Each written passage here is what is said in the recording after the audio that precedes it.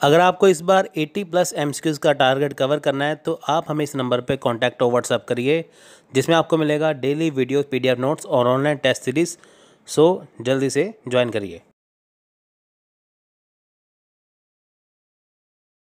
Language कैसे है? तो चलिए देखते हैं। The most ancient language of South India was probably Tamil. यानी कि अगर हम दक्षिण भारत की सबसे प्राचीन भाषा, सबसे ओल्ड जो लैंग्वेज उसकी बात करें तो सबसे पहले लैंग्वेज थी उनकी तमिल। देखिए, पूरे भारत की अगर बात करें अगर हम तो यहाँ पे सबसे पहले जो सबसे पुरानी लैंग्वेज थी, वो थी संस्कृत। तो उसके बाद अगर हम दक्षिण भारत इनकी साउथ इंडिया की बात करें तो इनकी लैंग्वेज है Tamil.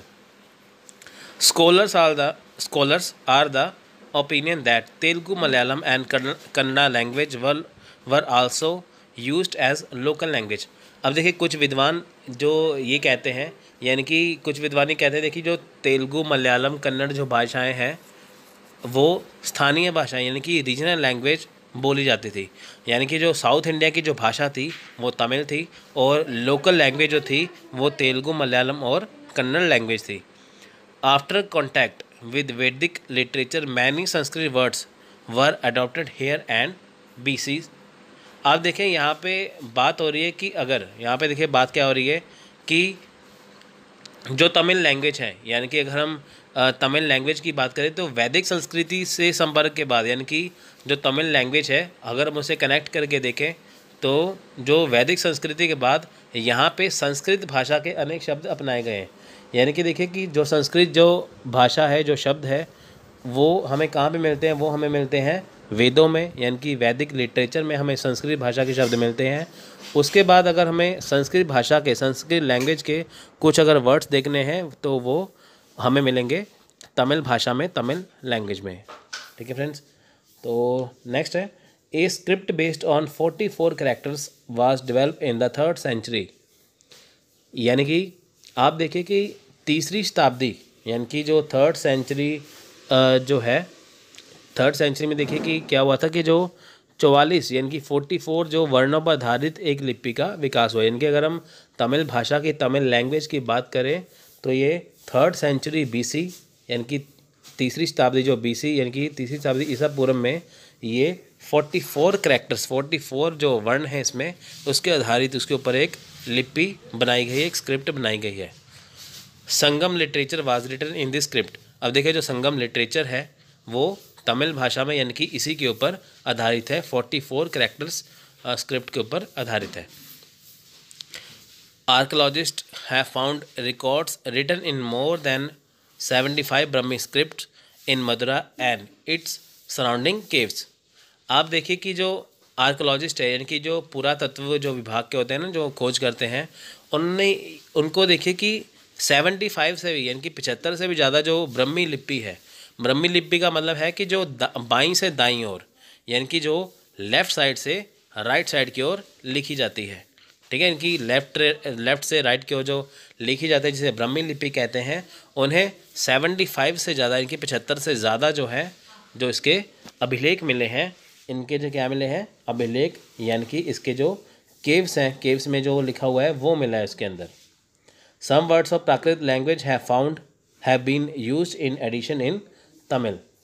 आप देखिए कि इनमें से जो तमिल भाषा के साथ प्राकृत भाषा के कुछ शब्द का भी प्रयोग हुआ है। आपको जानते हैं कि जो प्राकृत भाषा है, वो बुद्धिज़्म, जैनिज़्म के टाइम के बोली जाती थी। वो जो आंध्रा जो थे, यानी कि सतवाहन वंश के टाइम पर बोली जाती थी, ठीक है? तो इनका जो कुछ यहाँ पे, कुछ शब्दों का यहाँ पे इस्तेमाल हुआ है। तमिल के साथ साथ देखिए, प्राकृत भाषा का भी यहाँ, भाषा का भी यहाँ पे इस्तेमाल हुआ है। Some words of Prakrit language have been use in addition to Tamil. अब देखें यहाँ पे अगर हम बात करें आ, ये तो लाइन हो चुकी है।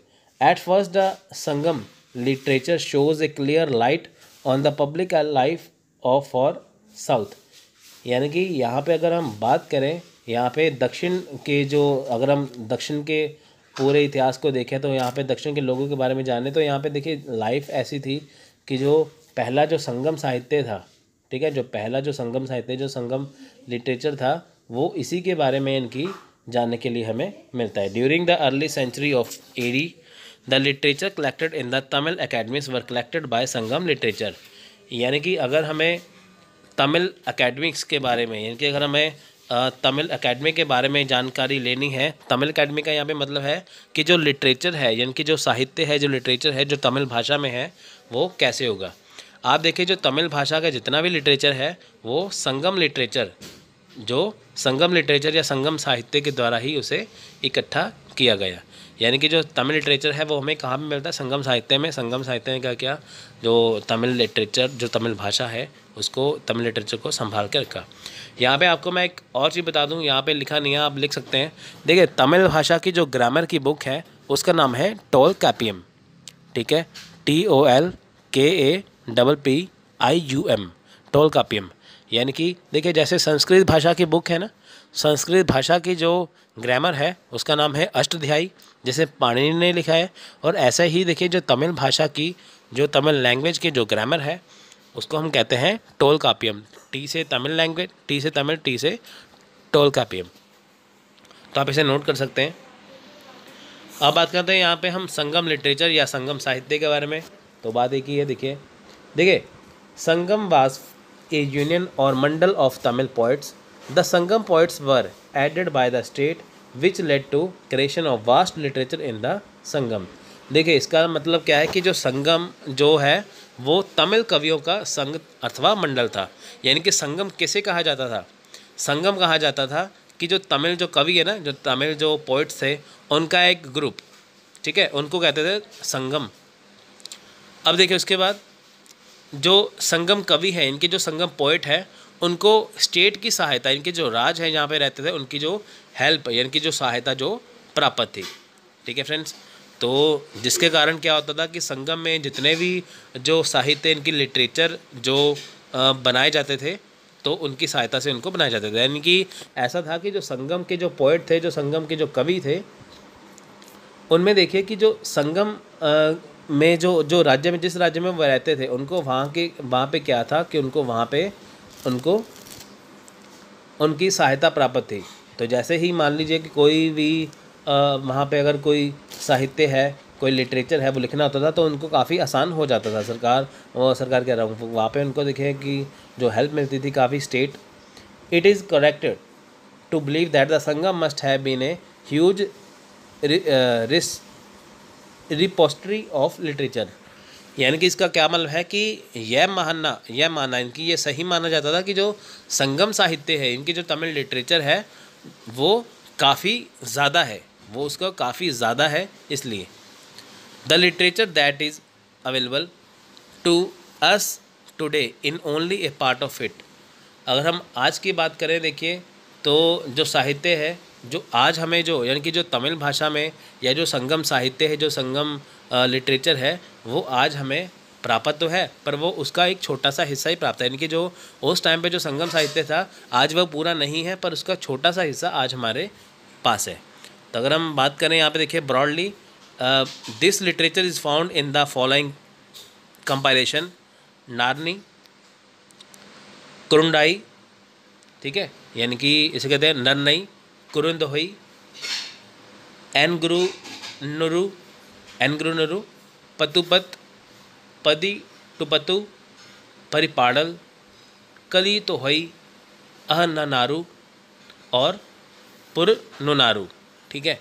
ये क्या चीज़ है? ये वो चीज़ है कि जो जो हमें देखे, मैंने आपको बताया ना, जैसे कि जो संगम साहित्य पूरा नहीं है, उसका छोटा सा पाठ हमारे पास पास है तो ये जो जो हमारे पास जो साहित्य है या बुक्स है या कुछ भी है, इनके बीच में ही संगम साहित्य लिखा हुआ है। ठीक है, देख सकते हैं कितने टफ नाम है आप।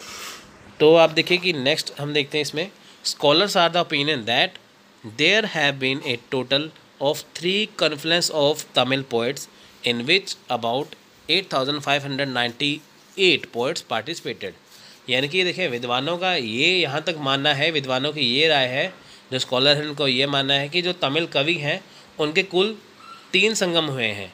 यानी कि जो तमिल कवि हैं, जो तमिल जो पोइट्स हैं, उनके तीन संगम हैं। और जिनमें से देखिए कि जो करीब आठ हज़ार पाँच सौ अठानवे की eight thousand five hundred ninety eight जो कवि हैं, उन्होंने भाग लिया है। यानी कि विद्वान ये मानते हैं कि जो तमिल कवि थे, उनके तीन संगम हैं, यानी कि उनके तीन ग्रुप हैं, जिनके ग्रुप में देखिए कि आठ हज़ार पाँच सौ अठानवे जो है वो कवि थे। ऊपर, देखिए इन कवियों ने ही इतना सब कुछ लिखा है। आप देखिए कि एक व्यक्ति के, यानी कि एक पर्सन ऐसा कोई साहित्य लिख नहीं सकता तो इतने कवियों ने ये लिखा था। उसके बाद देखते हैं यहाँ पे। The composition mention above are available today totalling 2289 अगर हम आज की बात करें, यानी कि अगर हम आज बात करें जो हमारे पास जो आज उपलब्ध हैं, जो चीज़ें हमारे पास अवेलेबल हैं, उनमें से कुल दो हज़ार दो सौ निन्यानवे। नहीं, दो हज़ार दो सौ एटी नाइन से बोलते हैं इंग्लिश में। Two thousand two hundred eighty nine जो है, वो हमारे पास क्या है? वो उपलब्ध है। ठीक है? यानी कि आप देखें कि आठ हज़ार पाँच सौ अठानवे यानी कि eight thousand five hundred ninety eight जो कवियों ने भाग लिया था, उसमें सिर्फ़ देखिए कि two thousand two hundred eighty nine जो है, वो ही यहाँ पे हमारे पास अवेलेबल है। Some of these poems are very short, only three lines, and some are very long. Commentary has also been given at the end of the most of the poems, which mention the name of the poets and the circumstances of the poem. आप देखिए कि इसके बाद देखिए यहाँ पे हम बात क्या करने वाले हैं यहाँ पे हम ये देखने वाले हैं कि इनमें से जो कुछ कविताएँ हैं इनकी इसमें से कुछ जो पोएम्स थी वो बहुत छोटी थी ज़्यादा देखिए वो तीन तीन लाइनों की होती थी, तीन जो तीन लाइन से ज़्यादा नहीं होती थी तो कुछ बहुत लंबी होती थी। यानी कि यहाँ पे अगर हम देखें कि तमिल साहित्य में तमिल लिटरेचर में अगर वहाँ पे हम पोएम हमें जो मिलती थी, या तो वो तीन लाइन की होती थी, या तो वो कुछ बहुत लंबी होती थी। तो ज़्यादातर ये देखा गया है कि जो जब जब भी कोई यहाँ पे देखे कि हमें कोई भी पोएम देखने को मिलती थी तो उसके अंत में क्या होता था कि जो जिसने ये पोएम लिखी होती थी, उसका नाम लिखा होता था, उस पोइट का, उस कवि का यहाँ पे नाम लिखा हुआ था, नाम लिखा होता था और उसने किन किन परिस्थितियों में किन किन सिचुएशन में इनको रचना इनकी की थी, वो भी इसके साथ लिखा होता था। The first who in course first two Sangams about providing a history and not create them the literature in her idea the third meeting provide some information this conference took place in Madura the capital of the Pandyas Tamil poets much must have participated in the sufficient number in the conference आप देखें, यहाँ पे मैं, यहाँ पे हम देखेंगे कि देखें कि एक विद्वान यहाँ पे, देखें, यहाँ पे सबसे पहले हुआ क्या था? किसके तीन संगम थे? ठीक है, जैसे मैंने आपको ऊपर बता चुका हूँ, जो पहले दो संगम थे, यानी कि जो पहले जो दो संगम थे, उसके बारे में हमारे पास कोई भी हिस्ट्री अवेलेबल नहीं है। अगर हम कहें ना कि पहले दो संगम में ये हुआ था, वो था तो वो हमारे पास अवेलेबल नहीं है, ठीक है? तो जो तीसरा संगम हुआ था, उसके बारे में हमें थोड़ी थोड़ी जानकारी जो प्राप्त हुई है। यानी कि जो भी हम संगम साहित्य के बारे में पढ़ते हैं, वो हमें तीसरे संगम से ही मिलता है। पहले दो संगम के बारे में हमें कुछ भी नहीं पता। यहाँ पर देखिए कि जो संगम है, यानी कि जो संगम है, वो पांड्यों की पांड्यों की राजधानी मदुरा में है। यानी कि जो संगम है, वो कहाँ पे है? वो पांड्यों की जो राजधानी है, वो मदुरा में है। आप देखिए हम संगम जो आगे संगम काल भी पढ़ेंगे अच्छे से, ठीक है? तो उसमें देखिए कि, इस सम्मेलन में देखिए कि जो तमिल कवि हैं, उन्होंने देखे कि हिस्सा लिया होगा, ठीक है? उन्होंने यहाँ पे हिस्सा लिया होगा यहाँ पे। According to one scholar four seventy three poets and poets participated in the in it. According to Tamil literature, this Sangam lasted for 9,900 years. आप देखें कि यानी कि एक विद्वान ये कहते हैं यहाँ पे कि जो चार सौ तिहत्तर यानी कि फोर सेवेंटी थ्री जो पोइट्स हैं और जो पोइटस हैं यानी कि कवित्री यानी कि मेल और फीमेल दोनों ने फोर सेवेंटी थ्री यानी कि चार सौ तिहत्तर कवि और कवित्रियों ने यहाँ पे क्या था पार्टिसिपेट लिया था तो तमिल साहित्य के अनुसार अगर हम देखें, यानी कि अगर हम तमिल लिटरेचर के बारे में हम देखें तो ये जो संगम है, वो निन्यानवे सौ, यानी कि नौ हज़ार नौ सौ वर्ष, यानी कि नाइन थाउज़ेंड नाइन हंड्रेड जो ईयर है, तब तक ये चले थे। ठीक है, यानी कि जो ये संगम था, ये इतने वर्षों तक चला था।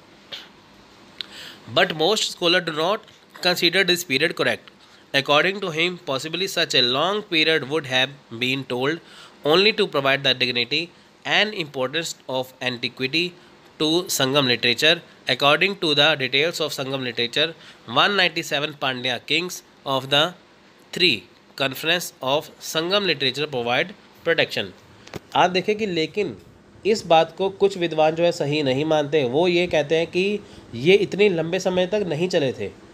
ठीक है? ये इतने लंबे समय तक देखिए कि ये नहीं चले थे। वो ये कहते हैं कि हो सकता है कि इतने लंबे समय तक संगम जो साहित्य है, जो उसके जो एंशेंट वाला काम है, जो इतने प्राचीन है, जो पुराना है, उसके जो इम्पोर्टेंस है, वो इसलिए बताई गई हो। यहाँ पे ये मानते हैं कि ऐसा नहीं कि इतने समय तक चला हो। हाँ जो संगम साहित्य है, वो इतना पॉपुलर है, इतना प्राचीन है तो कुछ जो विद्वान है, वो इस हिसाब से आइडिया लगा रहे हैं कि ताकि जो इसकी, जो गरिमा है, जो इसकी इम्पोर्टेंस है, वो बनी रहे। ठीक है? तो एक ही विद्वान मानते कि इतने वर्षों तक चला था, बाकी ये नहीं मानते। जो संगम साहित्य है, देखिए, उसके अनुसार हमें पता चलता है कि जो तीन सम्मेलन थे, वो जो हुए थे, उन्हें ठीक है, जो तीन सम्मेलन थे, जो तीन सम्मेलन थे जो तीन सम्मेलन की जो एक सौ सतानवे जो पांड्या राजा है, उन्होंने संरक्षण प्रदान किया था।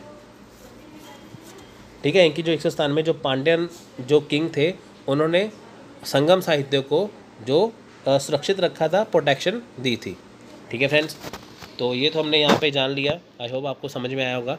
तो अगर आ, आगे हम बात करेंगे क्रिएशन टाइम की यानी कि रचना काल की कब हुआ था। देखिए there is a lot of disagreement among scholar about the composition period of Sangam literature some scholar are of the opinion that this literature was compiled during the period 300 to six hundred A D no matter what is creation period but no one can deny it its importance as a historical source देखिए, संगम साहित्य की यहाँ पे अगर हम बात करें तो इसके बारे में बहुत सारे मतभेद हैं, बहुत सारे यहाँ पे देखिए कॉम्पोजिशंस हैं तो कुछ विद्वानों की अलग अलग राय है। तो देखिए, कुछ विद्वान यहाँ पे ये कहते हैं कि जो ये इतिहास है, ये कब लिखा गया था? ये लिखा गया था 300 से 600 एडी के बीच में। यहाँ पे मैं एडी की बात कर रहा हूँ, ठीक है? 300 से 600 एडी के बीच में लिखा था, कुछ विद्वान ऐसा मानते हैं। देखिए यहाँ पे ये जानना इम्पोर्टेंट नहीं है कब शुरू हुआ था। यहाँ पे ये जानना इम्पोर्टेंट है कि ये जो तमिल जो लिटरेचर है, जो तमिल साहित्य है, वो बहुत ज़्यादा इम्पोर्टेंस है, वो बहुत ज़्यादा इम्पोर्टेंट है तो इसे इनकार नहीं किया जा सकता। तो आगे हम बात करेंगे इसके इम्पोर्टेंस के बारे में। तो चलिए इसको भी एक बार देख लेते हैं। देखिए, Sangam literature is the only literary source that first gives it detail and clear light on the life of the far south देखिए, जो अगर हम संगम लिटरेचर पढ़ते हैं, इससे हमें जो दूर दक्षिण तक, यानी कि जो साउथ इंडिया हमारा है, वो कितना दूर तक जो फैला हुआ है, संगम साहित्य से हमें पता चलता है कि जो इतनी दूर तक दक्षिण में जो जो लोग रहते हैं, उनका जीवन, उनकी लाइफस्टाइल कैसी है। Although it does not give us proper knowledge regarding the date of political life there yet it has to be felt that is this literature provide enough material in relation to social, economics, religious and political life there. देखिए, यहाँ से हमें ये तो बात पता नहीं चलती कि जो तमिल साहित्य के समय, यानी कि तमिल साहित्य के टाइम पे उस समय पॉलिटिकल सिस्टम कैसा था, कब शुरू हुआ था, कब ख़त्म हुआ था, ऐसा कुछ नहीं मिलता। पर ये तो जाना, ये तो हमें ज़रूर वहाँ पे पता चलता है कि उस समय वहाँ पे देखिए जो सामाजिक है, यानी कि सोशल इकोनॉमिक यानी कि आर्थिक, धार्मिक, राजनीतिक तो उस समय में जो ये संबंध थे, लोगों यानी कि जो ये संबंध थे, वो काफ़ी अच्छे थे। यानी कि अगर हम ये नहीं मान सकते, वहाँ पे जो राजनीति कब आई थी पॉलिटिकल सिस्टम कब शुरू हुआ था, ये जान सकते हैं कि सामाजिक, आर्थिक, धार्मिक यानी कि जो सोशल है इकोनॉमिक है रिलीजियस लाइफ है, वो यहाँ, वहाँ पे ज़रूर थी पहले। It is form this literature that we know that The three main states of the south, Pandya Chola and Chera were in cleft conflict देखिए हमें इसके बारे में ये तो पता चलता है कि पोलिटिकल सिस्टम कब स्टार्ट हुआ था पर ये ज़रूर मिलता है कि जो दक्षिण के यानी कि साउथ इंडिया के जो तीन जो जो मुख्य यानी कि जो मेन जो स्टेट थी वो चोल चेर की पांड्यन थी ठीक है चोल चेर पांड्य थी पर वो आपस में क्या थे लड़ते झगड़ते रहते थे इतना तो हमें पता ही है। From This literature we get a clear picture of successful coordination of culture of South and North India. This literature tells us how the three states of the North took advantage of the natural resources and spread foreign trade. It also gave us enough information about how they had business relation. Sangam poems are considered the first strong composition of the Tamil language. Evidence of the assimilation of many Sanskrit words into Tamil language is found in these poems. This literature gives vivid evidence that the Dravidian and Aryan culture of the North exchange a lot of provided a coordinated culture of the country. तो देखिए यहाँ पे अगर हम बात करें यहाँ पे अगर हम देखें कि ये साहित्य में ये बताता है कि जो दक्षिण के जो तीन राजा थे जो तीन राज्य थे चोल चेर पांड्या उसमें देखिए कि जो विदेशी व्यापार था वो काफ़ी दूर तक फैला हुआ था। उनके व्यापारिक संबंध के बारे में पता चलता है कि वो कैसे थे। इससे मैं ये पता चलता है कि जो संगम साहित्य इसमें जो कविताएँ हैं जो पोएम्स हैं वहाँ पे वो बहुत अच्छी थी बहुत अच्छी तरीके मानी गई हैं। संग दे, देखें यहाँ पे तमिल लैंग्वेज में काफ़ी संस्कृत की भाषा का इस्तेमाल हुआ है। ठीक है? तो यही बात है हमें शक या सीथियंस के बारे में। देखिए फ्रेंड्स ये जो सीथियन प्रजाति थी शक उन्हीं में से थे। ये कई बार शक या सीथियन एक ही बात है, ठीक है? तो ये, इसके बारे में बात करते हैं। नाइन्टी बीसी के आसपास थे देखिए, शक, आपको पता है कि देखिए फ्रेंड्स आपको थोड़ा सा इसका मैं इतिहास बता देता हूँ क्या है, जिससे आपको थोड़ा सा अच्छा भी लगेगा और अच्छा जाने का मौका मिलेगा। देखिए, जब शक भारत में आए यानी कि इंडिया में आए तो उनके आने का देखिए कारण क्या था? आप जानते हैं कि जो मगध साम्राज्य है, यानी कि जो मॉडर्न वंश, जो मगध जो साम्राज्य था, जो मगध एम्पायर था वो बहुत विशाल था, बहुत बड़ा था। अब देखिए, जब वहाँ पे, जब मौर्य वंश भी ख़त्म हो जाता है, उसके बाद जो आने वाले वंश भी वहाँ पे ख़त्म हो रहे हैं, यानी कि मगध साम्राज्य, देखिए, इसकी जो शक्ति है, इनकी जो पावर है, बहुत कम हो रही है। उसके बाद क्या हुआ, इसका फ़ायदा उठाया विदेशियों ने। यानी कि उन्होंने ये देखा कि मगध साम्राज्य पे राज करने वाले, यानी कि मगध का जो अम्पायर उसके ऊपर जो राज कर रहे हैं राजा वो बहुत ज़्यादा, इतने ज़्यादा अच्छे नहीं हैं तो उन्होंने इस बात का फ़ायदा उठाते हुए उसके ऊपर हमले करने शुरू कर दिए। तो ऐसा नहीं है कि किसी एक ने ही आक्रमण किया, बहुत ज़्यादा जो लोगों ने वहाँ पे आक्रमण किया तो आप देख सकते हैं कि जहाँ पे दिखे कि डेमेट्रियस आए, फिर मेनेंडर आए, है ना इंडो ग्रीक्स के। आप देख सकते हैं कि इंडो ग्रीक्स आ गए थे। इंडो ग्रीक के बाद देखिए फिर शक आए, फिर इनके बाद देखिए कि जो पार्थियन आए फिर आगे जाके मैंने कि कई ऐसे मतलब कि कई ऐसे जो विदेशी आक्रमण हुए, जिन्होंने भारत पर कब्जा करना चाहा और जिन्होंने कब्जा किया भी थोड़े थोड़े जगह पर जगह पर। तो आप ये देख सकते हैं। तो अगर तो हम बात करते हैं यहाँ पे देखिए कि शक जाति के बारे में। तो फ्रेंड्स, देखिए, यहाँ पे जो लिखा हुआ है, इसके अलावा मैं आपको काफ़ी कुछ एक्स्ट्रा भी बताऊँगा। तो आपका फ़र्ज़ है कि आप उसको साथ साथ लिख लीजिए। तो जो जो मैं बोलता जाऊँगा, जो इसमें नहीं होगा तो आपको साथ साथ आप लिख लेना। तो देखिए, the Greek were followed by Shakas who control much large part of India than the Greek did. अब देखिए, ग्रीक, यानी कि इंडो ग्रीक जब राजा मिनेंडर थे, उनके बाद देखिए, ग्रीक के बाद क्या हुआ कि कौन आए? शक आए, जिन्होंने भारत के, यानी कि इंडिया के काफ़ी बड़े हिस्से पर राज किया। There were five branches of the Shaka with their seat of power in different part of India and Afghanistan देखिए, इनकी पाँच ब्रांचेस थी, यानी कि जो शक डायनेस्टी थी, इनकी जो पाँच ब्रांचेस थी, जो इंडिया पाकिस्तान में फैली हुई थी। फ्रेंड्स यहाँ पे मैं आपको थोड़ा सा, यहाँ पे मैं आपको शक वंश की हिस्ट्री के बारे में बता देता हूँ कि शक आए कहाँ से थे। देखिए, ये आप थोड़ा सा आपको लिखना पड़ेगा साथ साथ देखिए, इसमें है क्या कि जो शक वंश है, ये कैस्पियन सागर, यानी कि जो कैस्पियन सी है, ये उसका जो इलाका है, उसके आसपास का इलाका है तो वहाँ पर ये रहते थे। आपको छोटी सी कहानी सुना रहा हूँ ध्यान से सुनना ये। देखिए, कैस्पियन सागर जो है, कैस्पियन सी जो है, इसके आसपास इलाकों में ये रहते थे। वहाँ पर वहाँ पर क्या हुआ कि इनके ऊपर यूची जो कबीला है, उन्होंने हमला कर दिया। यानी कि शक वंश, जो शक है, वहाँ पे रहते थे। इनके ऊपर यूची जो कबीला है, उन्होंने हमला कर दिया। उसकी वजह से फिर इन्हें वो जगह छोड़ के जाना पड़ा। अब देखिए कि यूची कबीले वाले कौन हैं। फ्रेंड, देखिए जो यूची लोग हैं, वो तिब्बत, यानी कि जो तिब्बत है, उत्तर वहाँ का जो उत्तर पश्चिम, ठीक है, यानी कि जो उत्तर पश्चिम, यानी कि नॉर्थ वेस्ट वाला जो पार्ट है तिब्बत का, वहाँ पे रहने वाले लोग थे। यानी कि यूची जो एक कबीला था, जो उत्तर पश्चिम, यानी कि नॉर्थ वेस्ट वाले जो लोग थे, उन्होंने क्या किया, शक जाति के ऊपर जो ऊपर हमला कर दिया जहाँ पे रहते थे तो उनको शक जो वंश था, जो शक जाति थी तो इन्हें वहाँ से अपनी जगह छोड़नी पड़ी, जिसके ऊपर जो शक वंश है जो शक वंश है वहाँ से चले गए तो जूची प्रजाति ने वहाँ पे हमला कर दिया। तो देखिए, उसके बाद क्या हुआ, फिर ये बैक्टीरिया आए, यानी कि अब देखिए फ्रेंड्स कि यहाँ पे देखिए कि इनका जो, इनकी जो पाँच ब्रांचेस थी फाइव ब्रांचेस थी एक तो इनकी देखिए, सिंध और पश्चिमी जो भारत है, इनकी जो वेस्टर्न इंडिया वहाँ पे था, इनकी, इनका जो एक अफ़गानिस्तान पे जो था तो दूसरा इनका देखिए तक्षशिला में था, फिर इनका यहाँ पे देखिए कि महाराष्ट्र, मथुरा, गंधार में था।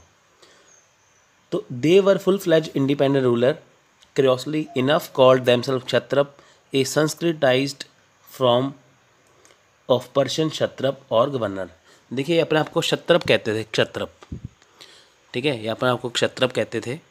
ये उत्तरी क्षत्रप, यानी कि नदरन क्षत्रप और वेस्टर्न क्षत्रप के नाम से जाने जाते थे। उत्तरी क्षत्रप कौन से हुए? जो तक्षशिला के एरिया में थे, जो अब पाकिस्तान के एरिया में है। तो जो उत्तरी, जो पश्चिमी क्षत्रप हैं, वो जो थे, वो महाराष्ट्र, मथुरा और गंधार वाले एरिया की तरफ़ थे। ठीक है फ्रेंड्स? तो देखिए कि क्षत्रप का मीनिंग है यहाँ पे गवर्नर। आप देखिए कि जो शक डायनेस्टी थी ठीक है जो ये इंडिया में आने का कारण क्या था इनके ऊपर हमले हो हुए थे काफ़ी तो ये वहाँ से अपनी जोगा जोगा छो, छोड़ते गए अपनी जगह छोड़ते गए जगह छोड़ते छोड़ते ये इंडिया में आ गए। तो उन्हें यहाँ पे आके राज किया काफ़ी देर तक। The king of Ujjain in 58 BC is said to have defeated the Shak and style himself Vikramaditya आप देखिए कि जो उज्जैन के राजा थे, उन्होंने अट्ठावन ईसा पूर्व इनकी 58 बीसी में उन्होंने शकों को हराया और उन्होंने विक्रमादित्य, अपने आप को विक्रमादित्य कहा। यानी कि देखिए, शक जब इंडिया में आए जब शक इंडिया में आए तो उन्हें उज्जैन के राजा ने 58 बीसी में हरा दिया और उन्होंने अपने आप को विक्रमादित्य की उपाधि दी।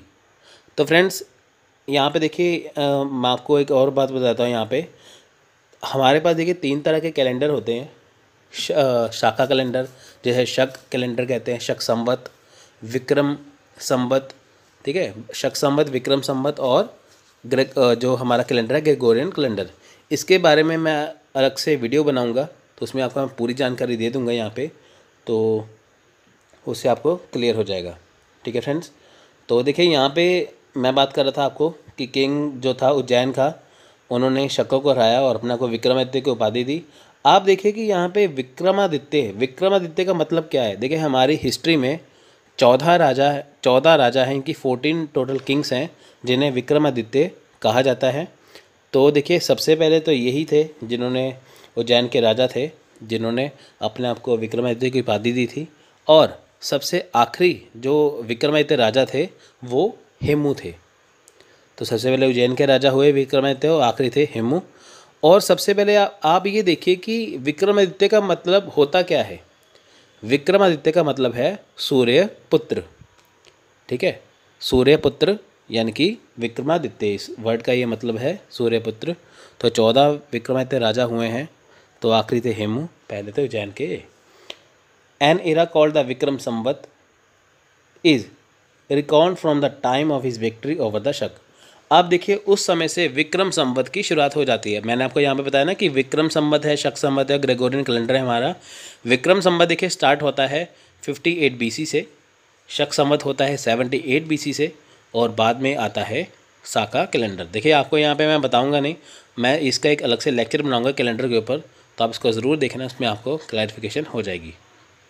ठीक है फ्रेंड्स तो देखिए, इस जो जैन की जब, जैन के राजा ने जब शकों के ऊपर अपना देखिए उनको जब शकों को हरा दिया तो उन्होंने विक्रम संबत की शुरुआत की। The the most famous Saka ruler, यानी जो सबसे जो फ़ेमस जो रूलर थे इनकी जो सबसे पावरफुल रूलर थे, वो थे रुद्रा दमन वन।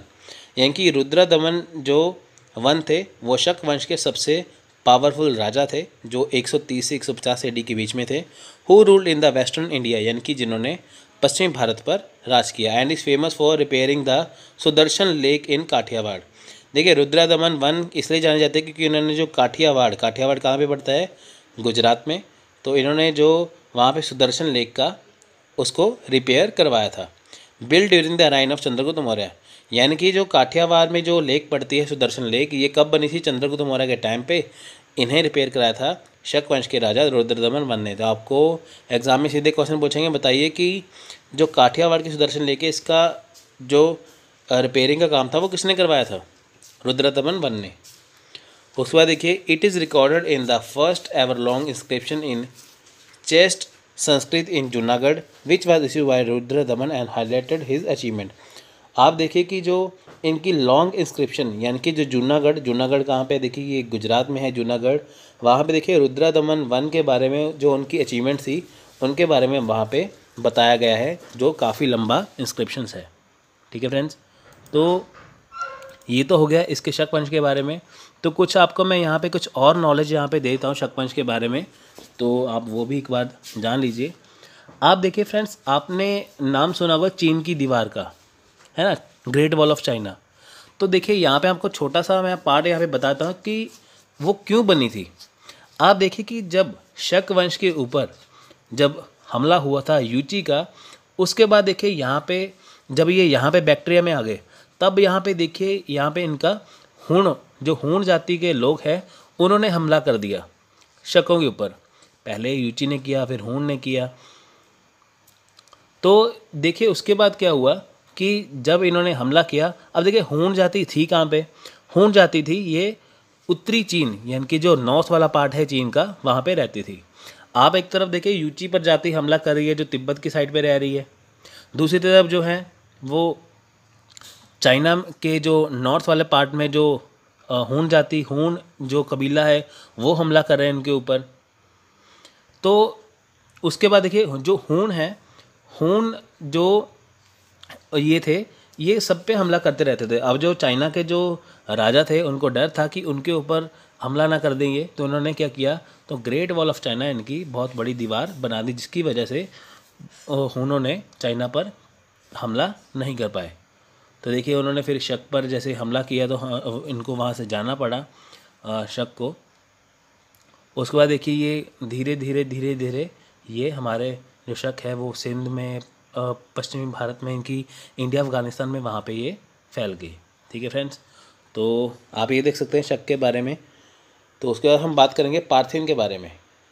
ठीक है? पहले हम बात करेंगे पार्थिन के बारे में, फिर हम बात करेंगे कुशान के बारे में।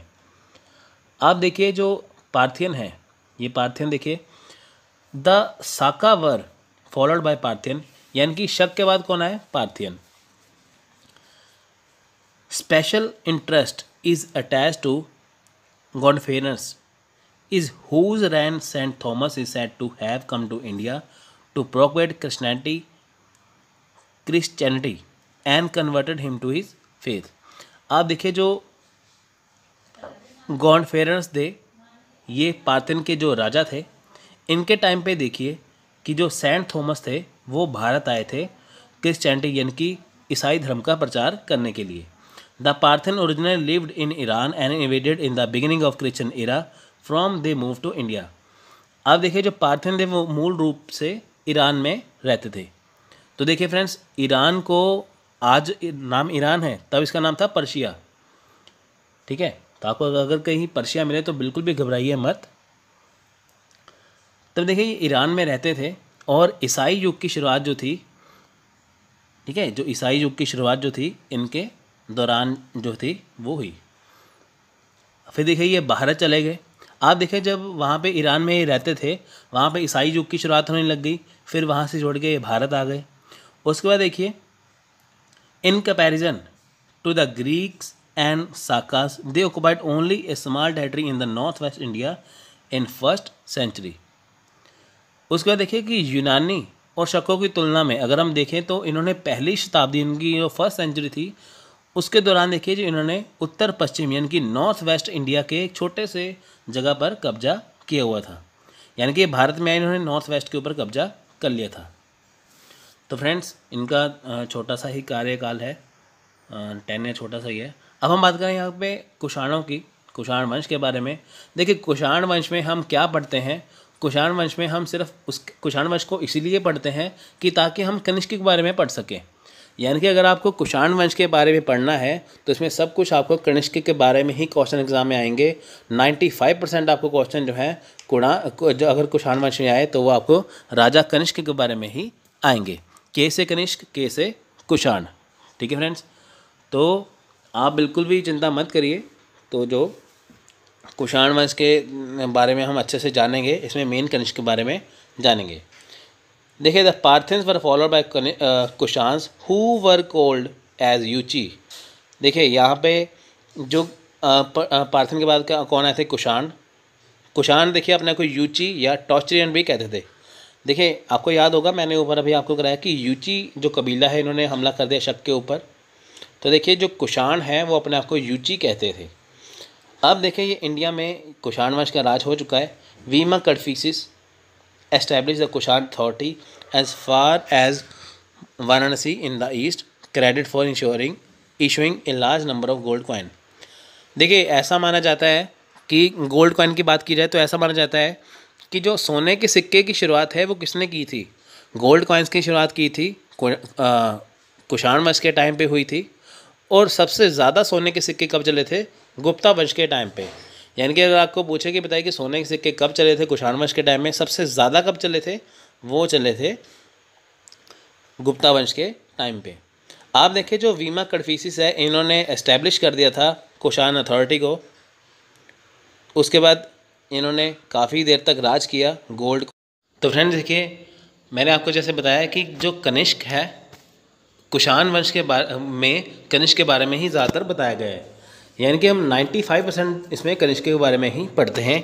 इसमें कनिष्क के बहुत सारे क्वेश्चन बनते हैं। ठीक है फ्रेंड्स? अब देखें, यहाँ पे बात करते हैं कि जो he was a great patron of Buddhism and fourth Buddhist Buddhist council is set to have been held under his patronage his patronised अश्वघोष the writer of Buddhacharita the biography of Buddha and Sutralankara and also patronise Charaka the great authority in medical science who wrote Sushruta along with Nagarjuna who wrote Madhyamika Sutra तो friends देखें यहाँ पे आप देखिए कि जो राजा कनिष्क है, वो जो बौद्ध धर्म है, उनके महान संरक्षक थे, यानी कि वो बौद्ध धर्म को बहुत ज़्यादा मानते थे राजा कनिष्क।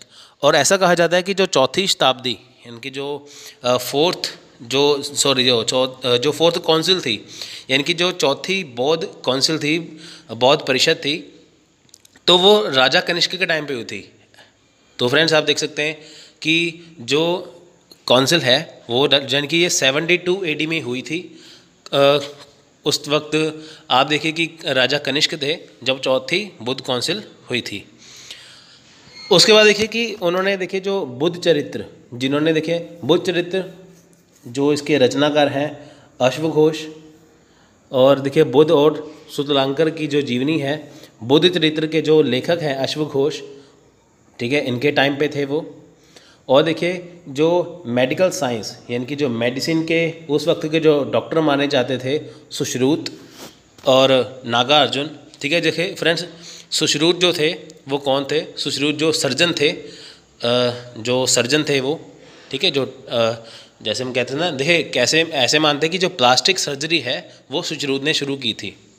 देखिए एस से सुश्रुत और एस से सर्जन यानी कि जो जैसे करते हैं ना हम कि अगर कोई जख्म हो जाए तो टांके वगैरह लगाने का काम ये करते थे। और प्लास्टिक सर्जरी भी इन्होंने तब शुरू की थी।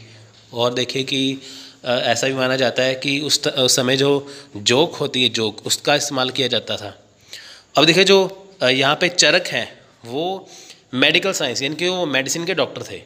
यानी कि दो डॉक्टर थे उस टाइम पे एक थे सर्जन जिन्हें कहते हैं सुश्रुत एक थे चरक जो दवाइयाँ देते थे। अब देखिए उनके टाइम पे सुश्रुत ने नागा अर्जुन के साथ मिलके माध्यमिक सूत्र लिखा। देख रहे हैं से नागा अर्जुन वो नहीं है कि जो आ, हम पढ़ा था ना हमने कि इंडो ग्रीक के टाइम पे जो राजा मिनेंडर की जिनसे बातचीत हुई थी नागार्जुन की जो बौद्ध भिक्षु थे ये वो वाले नागार्जुन नहीं है, ये दूसरे वाले नागार्जुन है जो कि कनिष्क के समकालीन थे। ये इनके दरबार में नहीं रहते थे। यानी कि ऐसा नहीं है कि नागार्जुन थे, इनके दरबार में रहते थे। ये इनके दरबार में बिल्कुल नहीं थे। ये किसी और जगह पे रहते थे, पर ये कनिष्क के समकालीन थे, यानी कि कनिष्क के टाइम पे थे। इन्होंने सुश्रुत और नागार्जुन ने मिलकर माध्यमिक सूत्र लिखा है। देखिए, पुरुषपुरा, जिसे आज पेशावर कहते हैं was capital of Kushan. Kushan की राजधानी कौन सी थी? पुरुषपुरा, जिसे पेशावर जो आजकल पाकिस्तान में है। Mathura seem to be their second capital Kanishka control the famous silk route in central Asia which start from China and pass through his empire in central Asia and Afghanistan to Iran western Asia and form the part of Roman empire आप देखिए, जो कनिष्क की जो दूसरी राजधानी थी, वो कौन सी थी? वो थी मथुरा। पहली कौन सी थी पेशावर, दूसरी कौन सी मथुरा? अब देखिए, कनिष्क ने सिल्क रूट सिल्क रूट देखिए, सिल्क रूट होता है ना? देखिए, ये वो सिल्क रूट है जिसके ज़रिए हम आगे जाके पढ़ेंगे कि जो सिल्क रूट जो था जो उसके ज़रिए व्यापार होता था, जब सिल्क रूट देखिए आगे जाके बंद हो जाता है मॉडर्न स्टेम में पढ़ेंगे, जब सिल्क रूट बंद होगा तो तभी यहाँ पे बास्को डिगामा पानी के रास्ते से इंडिया में आएँगे। तो देखिए, सिल्क रूट के ऊपर क्या है कि जो कनिष्क है उनका वहाँ पे कंट्रोल था। सिल्क रूट देखिए कहाँ से शुरू होता है? ये चीन से, यानी कि चाइना से शुरू होकर ये सेंट्रल एशिया यानी कि मध्य एशिया से होकर गुजरता है। और साथ में देखिए, जो पश्चिमी एशिया यानी कि जो वेस्टर्न एशिया है, यानी कि सेंट्रल एशिया से वेस्टर्न एशिया तक पहुँचता है। और पूरा जो रोमन साम्राज्य, यानी कि जो रोमन अम्पायर है, ये वहाँ तक फैला हुआ है। यानी कि चाइना से शुरू होके इसमें सेंट्रल एशिया भी आएगा, इसमें वेस्टर्न एशिया भी आएगा, इसमें साथ में पूरा रोमन अम्पायर भी आ जाएगा। तो इसके ऊपर कब्जा किसका था? इसके ऊपर कंट्रोल था राजा कनिष्क का। Kanishka started an era as Shaka era which recommended which commenced from seventy eight आपको ऊपर बताया था ना कि जो विक्रम संवत है, उसकी शुरुआत हुई थी फिफ्टी एट बी में। जे राजा, जो राजा विक्रमादित्य ने शुरुआत की थी। अब देखिए जहाँ पे कनिष्क ने शक संवत की शुरुआत कर दी है। कब की थी? सेवेंटी एट एडी में। ठीक है फ्रेंड्स ये देखिए फ्रेंड्स जो शक संवत है, ये गवर्नमेंट ऑफ़ इंडिया द्वारा अपनाया गया है। इसके ऊपर मैं अलग से लेक्चर बनाऊँगा। मैं आपको पहले भी कह चुका हूँ। तो इसके बारे में ज़्यादा डिस्कस नहीं करेंगे। देखिए, the Kushan were the first ruler to India to issue gold coin and wild scale a with higher degree of metallic purity than it's found in Gupta period आप देखिए कुशान वंश, वो पहले ऐसे शासक थे जिन्होंने गोल्ड कॉइन को चलाया था। और सबसे ज़्यादा गोल्ड कॉइन हमें कहाँ पे मिलते हैं? गुप्ता वंश के टाइम पे। तो आपको क्वेश्चन पूछें, बस इसमें यही याद रखना कि गोल्ड कॉइन सोने के सिक्के चलाने वाला कुशान वंश था। और सबसे ज़्यादा सोने के सिक्के कब मिले थे? गुप्ता वंश के टाइम पर the Gandhara school of art receive the royal patronage of Kushan देखिए, गंधार स्कूल ऑफ़ आर्ट और मथुरा स्कूल ऑफ़ आर्ट ये दो तरह के स्कूल ऑफ़ आर्ट हैं। यहाँ पे क्या होता था कि बुद्ध की मूर्तियाँ बनाई जाती थी। गंधार स्कूल ऑफ़ आर्ट में क्या है कि बुद्ध की मूर्तियाँ जो थी, वो वाइट मार्बल से बनाई जाती थी। तो वो जो बुद्ध का जो जो फेस था, वो अपने हिसाब से वो रखते थे। जैसे तिब्बत लोग तिब्बती लोग होते हैं वैसा। जो मथुरा स्कूल ऑफ़ आर्ट है, वो रेड कलर का इस्तेमाल करते थे पत्थर का। तो गंधार स्कूल ऑफ़ आर्ट जो था, वो कुशाण वंश के टाइम पे था।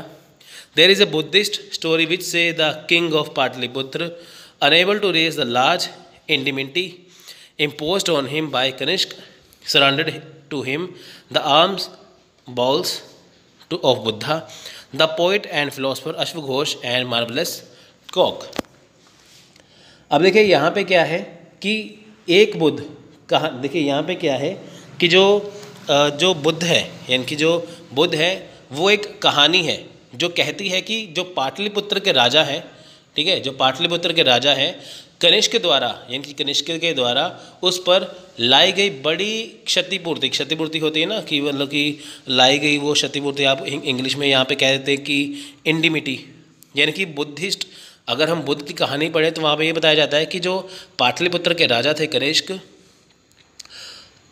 जो उन्होंने जो देखिए कनिष्क जो राजा थे, उन्होंने देखिए ऐसा होता है ना कि कई बार क्या होता है कि बहुत ज़्यादा चीज़ का नुकसान हो जाता है तो वो उसमें असमर्थ थे राजा Kanishka.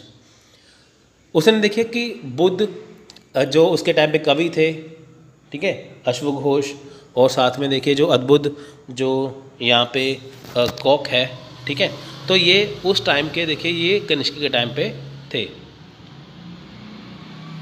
According to the legend the Buddhist philosopher अश्व Ghosh was specially invited from our to attended the fourth Buddhist council for systematising and qualify Buddhist text अब देखिए, अगर हम बात करें यहाँ पे पुरानी कथा के अनुसार पुरानी कथा के अनुसार बात करें तो यहाँ पे देखिए कि जब चौथी काउंसिल होनी थी बुद्धिस्ट काउंसिल होनी थी, तब अश्वघोष को स्पेशली बुलाया गया, ठीक है? अवध से स्पेशली बुलाया गया यहाँ पे अश्व घोष को कि ताकि वो जाके चौथी बुद्धिस्ट काउंसिल को अटेंड करें। और व्यवस्थित तरीके से, यानी एक सिस्टमेटिक तरीके से वो बौद्ध ग्रंथों को व्यवस्थित करें, बौद्ध ग्रंथों को सिस्टमेटिक वे से लगाएँ। उसके बाद देखिए the fourth Buddhist council was held under the patronage of Kanishka at the Kundalavana monastery in Kashmir देखिए, चौथी बुद्धिस्ट काउंसिल हुई थी कुंडलावन में तो ये कश्मीर में बढ़ता है। But there is another account which locate it in the Kuvana monastery at Jalandhar देखिए, ऐसा माना जाता है कि जो चौथी जो बुद्धिस्ट काउंसिल थी, वो हुई थी कश्मीर के कुंड कुंडलवन में। पर कई जगह पे ये लिखा है कि जलंधर के कुआ में हुई थी, पर एक्चुअली ये कुंडलवन कश्मीर में ही हुई थी। According to Hiuen Tsang the council was summon by Kanishka on the advice of venerable Parshva and he made Vasumitra its president and अश्वघोष द इट्स वाइस प्रेजिडेंट अब देखिए ये जो चौथी बुद्धिस्ट काउंसिल हुई थी, ये किसके टाइम पे हुई थी? कनिष्क के टाइम पे। और जो बुद्धिस्ट काउंसिल की तरफ़ से वहाँ पे हेड कौन था? वहाँ पे हेड थे जो थे इसके हेड थे प्रेसिडेंट थे वासुमित्र और वाइस प्रेसिडेंट थे अश्वघोष ठीक है? ऐसा होता है कि राजा तो होता ही है, साथ में बुद्धिस्ट काउंसिल की तरफ़ से कौन हेड होगा तो वो भी देखा जाता था। तो देखिए, ये वासुमित्र थे और अश्वघोष वाइस प्रेसिडेंट थे। The this council prepared an encyclopaedia और Buddhist philosophy called the Mahavibhasha which survive in a Chinese translation the language employed was Sanskrit अब देखिए, यहाँ पे क्या है कि इस जो परिषद, ये जो काउंसिल हुई थी, इसमें देखिए, बौद्ध दर्शन जो है, बौद्ध दर्शन का जो एक एक इंसाइक्लोपीडिया इनकी विश्व कोश तैयार किया गया, जिसमें बौद्ध दर्शन के बारे में, इनकी बौद्ध बौद्ध के बारे में, बुद्धिस्ट फिलोसफी के बारे में लिखा गया। तो देखिए, जिसे बाद में चाइनीस जो चाइनीस है, उसमें ट्रांसलेट किया गया चाइनीस लैंग्वेज में। तो देखिए, ये इनकी जो लैंग्वेज थी, वो संस्कृत थी। यानी कि जो चौथी बुद्धिस्ट काउंसिल हुई थी, जब ये इंसाइक्लोपीडिया लिखा गया तो ये संस्कृत भाषा में था। बाद में जाके इसे चाइनीज़ भाषा में कन्वर्ट किया गया। ठीक है फ्रेंड्स? तो यहाँ पे जानते हैं ट्रेड एंड कमर्स के बारे में। देखिए फ्रेंड्स इस लेक्चर के बाद मैं आपको एक और लेक्चर बताऊँगा कि इनके क्या प्रभाव थे। ठीक है? तो वो अच्छे से हम करेंगे। तो जानते देखिए trade and commerce the Greek sailor Hippalus discovered monsoon in the year 46 to 47 AD and the discovery proved a boon for, of South India merchant and as it's accelerated the trade activity of South India within the western world इसका क्या मतलब है कि जो Greek जो नाविक थे, इनके जो ग्रीक सेलर थे, ठीक है, जो व्यापारी थे, जो ग्रीक सेलर थे हेप्लस उसने देखे कि साल, जो छियालीस सैंतालीस एडी था, उसमें देखिए मानसून की खोज की यहाँ पे। उन्होंने मानसून की खोज खोज की। और देखिए, यह खोज जो थी, वो साउथ इंडिया यानी कि जो दक्षिण भारतीय व्यापारी हैं, जो साउथ इंडिया के जो व्यापारी है, उसके लिए एक वरदान साबित हुआ। क्योंकि देखिए, इसने जो पश्चिमी दुनिया है, यानी कि जो वेस्टर्न जो था, वर्ल्ड था, उसके साथ देखिए, दक्षिण भारत, यानी कि साउथ इंडिया की व्यापार की गतिविधि को तेज किया। यानी कि देखिए, जो हैप्लस आई यहाँ पे 46 और 47 एडी में तो उन्होंने देखिए, यहाँ पे मानसून की खोज कर ली। तो यहाँ पे साउथ इंडिया था, जो यहाँ के साउथ इंडिया के व्यापारी थे, उनके लिए बहुत अच्छा रहा। क्यों? क्योंकि देखिए, जो जो वेस्टर्न जो वेस्टर्न कंट्रीज़ हैं, उनके साथ उनका व्यापार जो था वो बहुत तेज़ हो गया जिससे पहले नहीं था। यानी कि कुशान वंश के टाइम पे अगर हम बात करें तो साउथ इंडिया के व्यापारी जो थे, उनका जो वेस्टर्न जो कंट्री जो वेस्टर्न वर्ल्ड था कंट्री से उनके साथ व्यापार जो अच्छा हो गया। Manu's code which is perhaps the most important code of conduct of Hindus, belong to these centuries of post-modern phase only देखिए, मनु का जो कोड है, जो शायद हिंदुओं का सबसे इंपॉर्टेंट कोड ऑफ़ कंडक्ट है इंपॉर्टेंट आचार संहिता है, ये केवल देखिए मौर्योत्तर काल यानी कि जो मौर्यन वंश का जो टाइम था के उन्नीस शताब्दियों के अंतर्गत आता है। यानी कि देखिए, जो मनु का कोड है, हमें मनु के बारे में कब पता चलता है? ये केवल हमें देखिए ओनली जो मौर्यन अंपायर के टाइम के अनुसार ही, उसके दौरान ही पता चलता है। The guild system was reaching its peak during the century due to opening of many trade routes for the merchants and also because of great demand of Indian products in the western world in this country the kings also preferred to have deal with the guild head as that would permit the kings to have regular source of income. देखिए, व्यापारियों के लिए यहाँ पे क्या हुआ कि कई व्यापारियों, कई व्यापार जो जो मार्ग, जो रास्ते हैं, वो खोले गए। ठीक है? यहाँ पे देखिए, गिल्ड सिस्टम अपनाया गया, यानी कि जो व्यापारी हैं, उनके लिए देखिए कि कई तरह के यहाँ पे रास्ते खोले गए व्यापार के लिए। और देखिए इन शताब्दी में क्या है कि एक बहुत बड़ी मात्रा, यानी कि एक बहुत बड़ी, आप देख सकते हैं कि अगर हम वेस्टर्न वर्ल्ड की बात करें तो देखिए यहाँ पे मेन काम क्या था? व्यापार करना। तो यहाँ पे देखिए, व्यापारियों के लिए जो ट्रेडर्स हैं, उनकी सुविधा के लिए, उनके लिए क्या किया गया कि कई रास्ते खोले गए। पहले क्या था? सिल्क रूट था, उसके दौरान क्या था? कई और रास्ते खोले गए, ठीक है? उसमें क्या था देखिए कि इसके दौरान देखिए कि जो वेस्टर्न वर्ल्ड है, जिसके साथ साउथ इंडिया या भारत के लोगों का व्यापार होता था, उसमें क्या था कि जो गिल्ड सिस्टम था, वो बहुत ऊंचाई पर था। तो आप मेरे को कमेंट बॉक्स में लिख के बताइए गिल्ड सिस्टम है क्या? तभी तो मुझे पता लग पाएगा ना कि आप इससे कनेक्ट होगी नहीं। देखिए, राजाओं ने जो गिल्ड जो प्रमुख हैं, उनके साथ व्यवहार करना पसंद किया, क्योंकि देखिए, जो राजा थे, उनको, जो उनकी इनकम थी, उनको नियमित स्रोत रखने की अनुमति थी। यानी कि जो राजा थे, उनको ऐसा था कि जो उनकी इनकम होगी, वो एक क्या थी, वो एक नियमित होगी। नियमित का यहाँ पे मतलब है कि वो रेगुलर सोर्स से कैसे इनकम कर सकते हैं। India receive a huge amount of gold due to its central Asian contacts that actually came from the Altai mountains आप देखिए भारत को, यानी कि इंडिया को यहाँ पे देखिए जो मध्य एशियाई संपर्क है, यानी कि जो सेंट्रल एशियन जो कॉन्टैक्ट हैं, वहाँ पे देखिए कि उसके जो कॉन्टैक्ट के कारण क्या था, भारी मात्रा में सोना मिला। यानी कि यहाँ पे देखिए इंडिया में जो सोना है, वो हमें कहाँ से मिलता है? वो हमें मिलता है यहाँ के मध्य एशियाई संपर्कों से। यानी कि जब व्यापार होता है देखिए ऑब्वियसली बात है कि सिक्के चलेंगे। तो यहाँ पे सोने के सिक्के जब चलाए जाते थे तो ये देखिए, ये मध्य एशिया, यानी कि सेंट्रल इंडिया जो था, उसके कॉन्टैक्ट से हमें यहाँ पे सोने के सिक्के मिलते हैं। अब देखिए जो सोने के सिक्के जो हैं कहाँ पे, ये एक्चुअली देखिए, ये अल्ताई पर्वत से आए थे। बाद देखिए the control of the silk route by the Kushan in the first century of Christian era was very significant from the point of view of the increasing prosperity of India in the centuries Indian traders to great advantage of Kushan control over the area through which is the which the west Asia bound goods has to grow go through देखिए Christian युग की पहली शताब्दी की अगर हम बात करें तो यहाँ पे देखिए जो कुशानों द्वारा, जो कुशान थे, उनके द्वारा देखिए जो सिल्क रूट था, उसके ऊपर काफ़ी कंट्रोल हो चुका था। जैसे मैंने आपको बताया ना क्रिश्चियन युग यानी कि जो क्रिश्चियनिटी एरिया है, जो क्रिश्चियन क्रिश्चियन इरा है, ठीक है? तो यहाँ पे देखिए कि उनके ऊपर भी जो, देखिए जो सिल्क रोड था, उसके ऊपर क्या था? कुषाण का कब्जा था कि कनिष्क का वहाँ पे सिल्क रोड पर कब्जा था। आप देख सकते हैं कि सिल्क रोड के ऊपर कब्जा होना, यानी कि जितना भी व्यापार होता था उसके ऊपर कनिष्क का कब्जा था। अब देखिए, इन शताब्दियों में क्या हुआ कि जो भारत, जो हमारा इंडिया है, जो उसकी जो प्रोग्रेस है, जो इनकी समृद्धि है, वो काफ़ी इंपॉर्टेंट थी।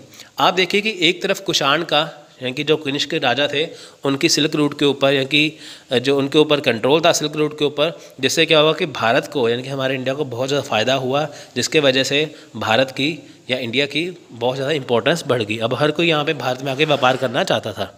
देखिए, भारतीय जो व्यापारी थे, जो इंडियन जो ट्रेडर्स ट्रेडर्स थे, उन्होंने देखिए कि उस जगह पर कुषाण कुषाण के कंट्रोल का काफ़ी फ़ायदा उठाया। यानी कि देखिए कि जो भारत के जो राजा हैं, यानी कि जो कनिष्क हैं, उनका कंट्रोल था सिल्क रूट पर। इसी बात का फ़ायदा किसने उठाया? इंडिया के व्यापारियों ने। तो जिसके देखिए, जिसके ज़रिए क्या हुआ? जो पश्चिम एशिया है, यानी कि जो वेस्ट एशिया है, उसके साथ क्या हुआ कि उसके साथ देखिए क्या हुआ कि जो बाउंड गुड्स है, यानी कि जिसको होता ना कि बाउंडेशन होती है इस सामान के ऊपर, ये खरीदना पड़ेगा, ये बेचना ही पड़ेगा, ठीक है? तो वो अपने सामान को ऐसे बेचते थे। The central Asian introduce better cavalry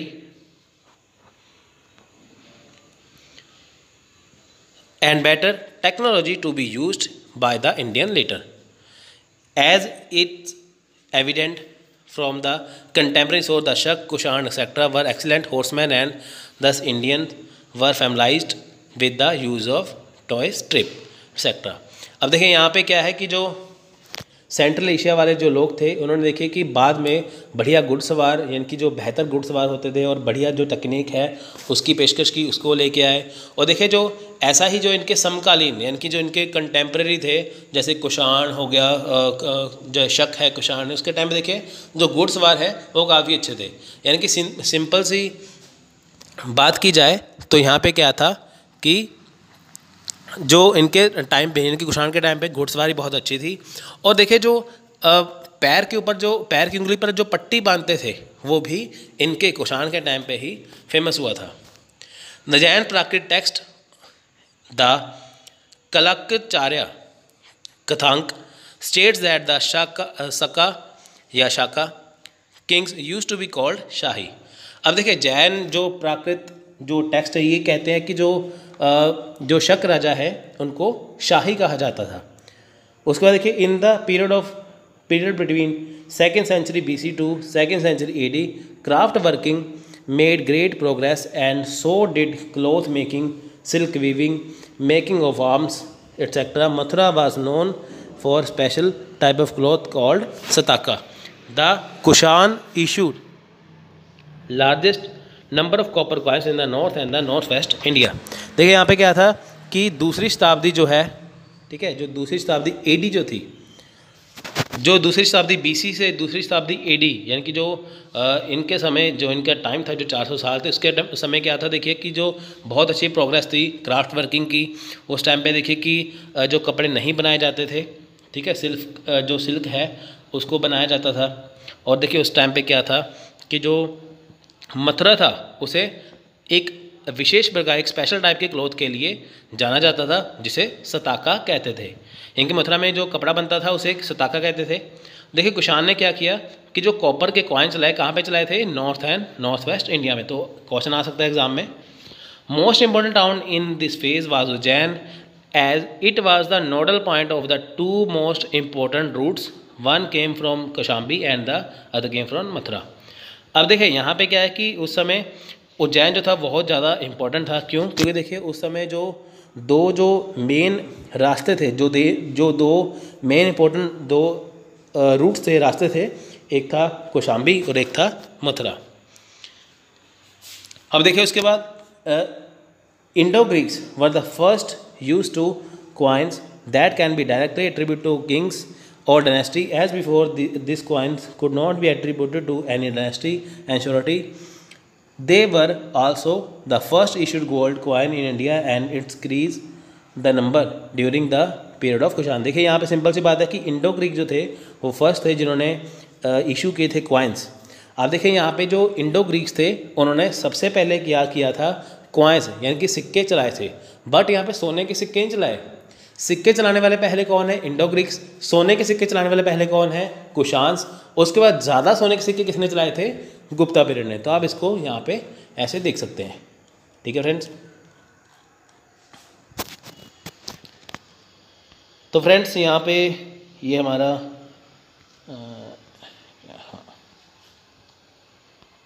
यहाँ। पे आर्ट एंड कल्चर की बात आएगी। तो फ्रेंड्स अभी हम इतना ही करेंगे यहाँ पे। तो जो इसका आर्ट एंड कल्चर वगैरह है, वो आपको मैं नेक्स्ट लेक्चर में बताऊँगा। तो इसके अलावा देखिए आर्ट एंड कल्चर के अलावा हम काफ़ी कुछ करेंगे, जैसे साइंस एंड टेक्नोलॉजी है, वो काफ़ी कुछ करेंगे। कि उनके टाइम पे क्या क्या फ़ेमस था? टाइम की। तो देखिए, पहले हम बात करेंगे पोट्री एंड स्ट्रक्चर की, यानी कि मिट्टी के बर्तन और संरचना। हम जानते हैं कि शक और कुशाण के टाइम पे पॉटरी कैसा था और उनका स्ट्रक्चर कैसा था, इनकी मिट्टी के बर्तन कैसे थे, उनकी संरचना कैसी थी। देखिए during this period the pottery was red colour which was manufacture both plain and polish देखिए कि इस अवधि के दौरान इनकी इस अगर हम पीरियड की बात करें जो पोट्री थे इनकी जो मिट्टी के बर्तन थे वो लाल रंग के होते थे जो अ, सादे जो सादे होते थे और पॉलिश किए हुए होते थे। ठीक है? सादे भी होते थे और दोनों तरह से पॉलिश भी होते थे। उसके बाद देखिए these were similar to the thin clothing and red pottery discover during the Kushan empire in the central Asia यानी कि देखिए कि यह मध्य एशिया में कुशान साम्राज्य के दौरान खोजे गए पतले कपड़ों और लाल मिट्टी के बर्तनों के समान थे। यानी कि देखिए ये किसके समान थे? यानी कि जो हम बर्तनों की बात कर रहे हैं पोट्री की बात कर रहे हैं, ये उतने पतले थे जबकि जो पतले पतले कपड़े थे ना, यानी कि जो पतले कपड़े थे मध्य एशिया जो सेंट्रल एशिया जो था, उस टाइम जो पतले पतले कपड़े थे और लाल मिट्टी के बर्तन थे। ये वैसे ही कपड़े की तरह पतले ही यहाँ पे जो मिट्टी के बर्तन थे। जैसे आजकल होता है ना मोटे मोटे बर्तन। वैसे नहीं थे, ये पतले पतले कपड़े के जैसे मिट्टी के बर्तन थे। और ये लाल जो थे, ठीक है? This period were known this period was known for the construction of brick walls burn bricks were use as tiles for both floor and ceiling देखिए, ये जो समय था, ये जो टाइम था, इस टाइम पे देखिए, जो ईंटे की दीवार है, यानी कि जो ईंट की दीवार है, उनका निर्माण जाना जाता था। आप देखिए, जैसे आजकल घर बनाना हो कुछ भी चीज़ बनानी हो तो ईंटों की दीवार बनती है ना? तो पहले, इससे पहले ऐसा नहीं था। जो शक और कुशान का टाइम था, उस दौरान से क्या था, जो ईंटों की दीवार जो थी, वो बननी शुरू हो गई थी। चाहे फर्श हो, चाहे छत हो, वहाँ पे क्या था, टाइल का जो टाइल के रूप में क्या था जो जली हुई ईंटें, जली हुई ईंटें यानी कि बर्न ब्रिक्स ब्रिक्स क्या है यहाँ पे, जो ईंटें पकाई जाती हैं। ऐसा होता है ना आजकल भट्टे में जो ईंटें पकाई जाती है, जो पक्की हो जाती है रेत, पानी वगैरह डाल के तो वैसी ही ईंटों का, वैसे ही टाइल्स का यहाँ पे इस्तेमाल हुआ था, ठीक है? यानी कि देखिए, पहले तो यहाँ पे ईंटों से दीवारें बनाई जाती थी, फिर अब देखिए यहाँ पे बर्नट ब्रिक्स यानी कि जली हुई ईंटें जो है, उनको इस्तेमाल करने लग गए थे छत पे और फर्श पे। तो ये तो था पोर्ट्री स्ट्रक्चर नेक्स्ट हम करते हैं the Shaka and the Kushan started a better cavalry यानी कि शक और कुशान ने बेहतर घुड़सवार सेना की शुरुआत की। कैवलरी होता है घुड़सवार सेना, जो घोड़े पर सवार होती है। The best use of cavalry was seen during the Shaka and Kushan period the use of horse reins and seat on the back was initiated by Shaka and Kushan देखिए, शक और जो कुशान का जो टाइम था, उस दौरान क्या था? घुड़सवार जो थे ना जो सेना थी, वो बेहतर उसका उपयोग देखने को मिला, क्योंकि इससे पहले देखिए, इतने बेहतरीन घुड़सवार नहीं थे, ये शक और कुशान के टाइम पे थे। घोड़े की देखिए, जो लगाम है, ठीक है, यानी कि हॉर्स रेन रेन का मतलब होता है लगाम। यानी कि जो हॉरे जो घोड़े की जो लगाम है, और जो घोड़े की जो पीठ के ऊपर जो सीट बनाई जाती है बैठने के लिए, उसकी शुरुआत भी शक और कुशान के टाइम पर हुई थी। तो ये बहुत बढ़िया क्वेश्चन बनता है ये वाला। इसके अलावा ठीक है in addition the Shaka and the Kushans also introduce tunic turban trousers and heavy long coat caps helmet and shoes were also introduce during the this period which prove to be helpful for victory in the war अब देखिए, इसके अलावा जो शक है और कुशान है उन्होंने देखिए, जो ट्यूनिक है, जिसे हिंदी में अंग रखा कहते हैं, उसका इस्तेमाल करना शुरू किया।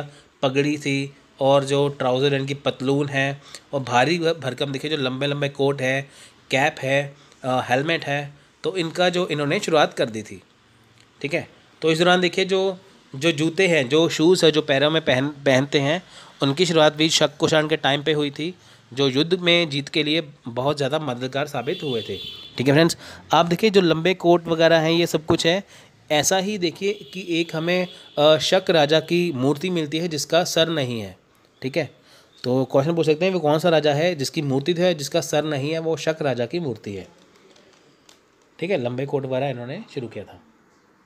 तो अब हम बात करें यहाँ पे एग्रीकल्चर और ट्रेड की, यानी कि कृषि और व्यापार की, कृषि और व्यापार कैसा था? ये बात हम करें कि शक और कुशान के टाइम पे क्या क्या चीज़ें थी। Agriculture was encourage by Kushans archaeological traces of irrigation facilities were obtained in Afghanistan Pakistan and parts of western central Asia अब देखें यहाँ पे क्या था कि कुषाण द्वारा जो खेती थी, जो कृषि थी, वो की जाती थी। कृषि की इनके दौरान जो हुई थी। अफ़गानिस्तान, पाकिस्तान, जो पश्चिमी एशिया, यानी कि जो सेंट्रल, जो सॉरी, जो वेस्टर्न सेंट्रल एशिया है, वो वाला जो हिस्सा था, उनसे हमें पता चलता है कि यहाँ पे देखिए जो सिंचाई है ना, जो यहाँ पे इरिगेशन सिस्टम था, वो फैला हुआ था। हम यहाँ पे देखते हैं कि जो कुशाण के टाइम पे एग्रीकल्चर था, और अगर हम बात करें Afghanistan, Pakistan, western, central Asia की, वहाँ पे हमें इरीगेशन के कुछ जो है वो वहाँ पे निशान मिलते हैं। Direct contact between India and central Asia began during the Saka Kushan period the silk road control by Kushan originated from China and spread to Iran and west Asia through central Asia and Afghanistan अब देखिए, शक कुषाण अवधि यानी कि जब अशक कुषाण का जो time था उसके दौरान देखिए जो भारत यानी कि जो इंडिया और जो सेंट्रल एशिया था उसके बीच में देखिए काफ़ी आपसी देखिए सीधा संपर्क था व्यापारिक संबंध था। अब देखिए जैसे कि हमने बताया था अपने पिछले लेक्चर में कि, कि जो कुषाण थे उन्होंने सिल्क रोड यानी कि रेशम मार्ग के ऊपर अपना कब्जा किया हुआ था जिसकी वजह से आ, क्या था उनकी बहुत ज़्यादा चलती थी। अब रेशम मार्ग क्या है सिल्क रूट क्या है जिसकी वजह से मध्य एशिया अफ़गानिस्तान और ईरान जैसे एरिया में क्या था? इनसे व्यापार होता था। India has obtained a good amount of gold by trading with Roman empire through the Altai field located in central Asia अब देखिए, भारत ने देखिए, जो मध्य एशिया के जो में जो स्थित है, इनके सेंट्रल एशिया में जो स्थित है, अल्ताई जो पहाड़ है, जो अल्टाई पर्वत है, ठीक है? तो उसके माध्यम से क्या था? देखिए रोमन साम्राज्य के साथ व्यापार किया और काफ़ी अच्छी मात्रा में, काफ़ी जो अच्छे अमाउंट में जो सोना, यानी कि स्वर्ण प्राप्त किया गोल्ड प्राप्त किया। देखिए इन्फ्लुएंस ऑन पॉलिटिक्स यानी कि इनका देखिए, राजनीति पर क्या प्रभाव था शक कुशान का? देखिए Shaka and Kushans propagated the idea of divine origin of governance the Kushan king were called son of gold अब देखिए जो शक और कुशान थे, ये इनका जो शासन था, इनके जो आपसी जो विचार थे वो काफ़ी अलग तरह के थे। अब देखिए, जो कुषाण राजा है, वो अपने आप को सन ऑफ़ गोडियन की भगवान का पुत्र या ईश्वर का पुत्र कहते थे। ईश्वर का बेटा कहते थे अपने आप को कुषाण राजा। The Kushan introduce the dictator system of government in India the entire was divided into several dictatorship and each dictatorship was controlled by a dictator. Hereditary double rule, which include two kings ruling at the same time in the same empire, began during this period. यानी कि देखिए कि इस time पे क्या था कि जो कुषाण है उसने देखिए भारत में जो तानाशाही प्रणाली की सरकार की शुरुआत की यानी कि डिक्टेटरशिप जो सिस्टम था जो डिक्टेटर सिस्टम था वो कौन लेके आए थे? वो कुशान लेके आए थे भारत में ठीक है? सिंपल सा क्वेश्चन बनता है कि बताइए कि इंडिया में डिक्टेटरशिप जो था वो सिस्टम कौन लेके आया था? वो कुशान राजा लेके आए थे। तानाशाही तानाशाही डिक्टरशिप होता है जहाँ पे राजा की ही मर्ज़ी चलेगी। और साथ में देखें कि जो पूरा साम्राज्य, इनकी जो पूरा शासन था, वो कई तानाशाही जो कई तानाशाही रूपों में विभाजित था, कई तानाशाही रूपों में बटा हुआ था। और देखिए, हर एक जो जो जगह थी, वो हर एक उसका तानाशाह अलग होता था। ऐसा नहीं है कि पूरा ही कुषाण वंश एक ही राजा के अंडर है। वहाँ पे क्या था अलग अलग जो तानाशाही जो जगह है, वो बांट दी जाती थी। यहाँ पे देखिए, जो दोहरा शासन था डबल सिस्टम था, जो वंशानुगत था, यानी वंशानुगत मतलब कि हेरिडेटरी मतलब वंशानुगत, यानी कि राजा के बाद उसका बेटा है, वो राजा बनेगा, ठीक है? दोहरी शासन प्रणाली थी यहाँ पे। तो एक ही समय पे देखिए, दो राजा थे जो शासन करते थे, ठीक है? यानी कि देखिए, ऐसा होता ना कि एक राजा, एक एक शासन, एक राजा, यहाँ पे क्या था कि यहाँ पे दोहरा शासन कर सकते हैं कि दो राजा गद्दी पर बैठते थे। तो ये किसके टाइम पे था? ये कुशान के टाइम पे था।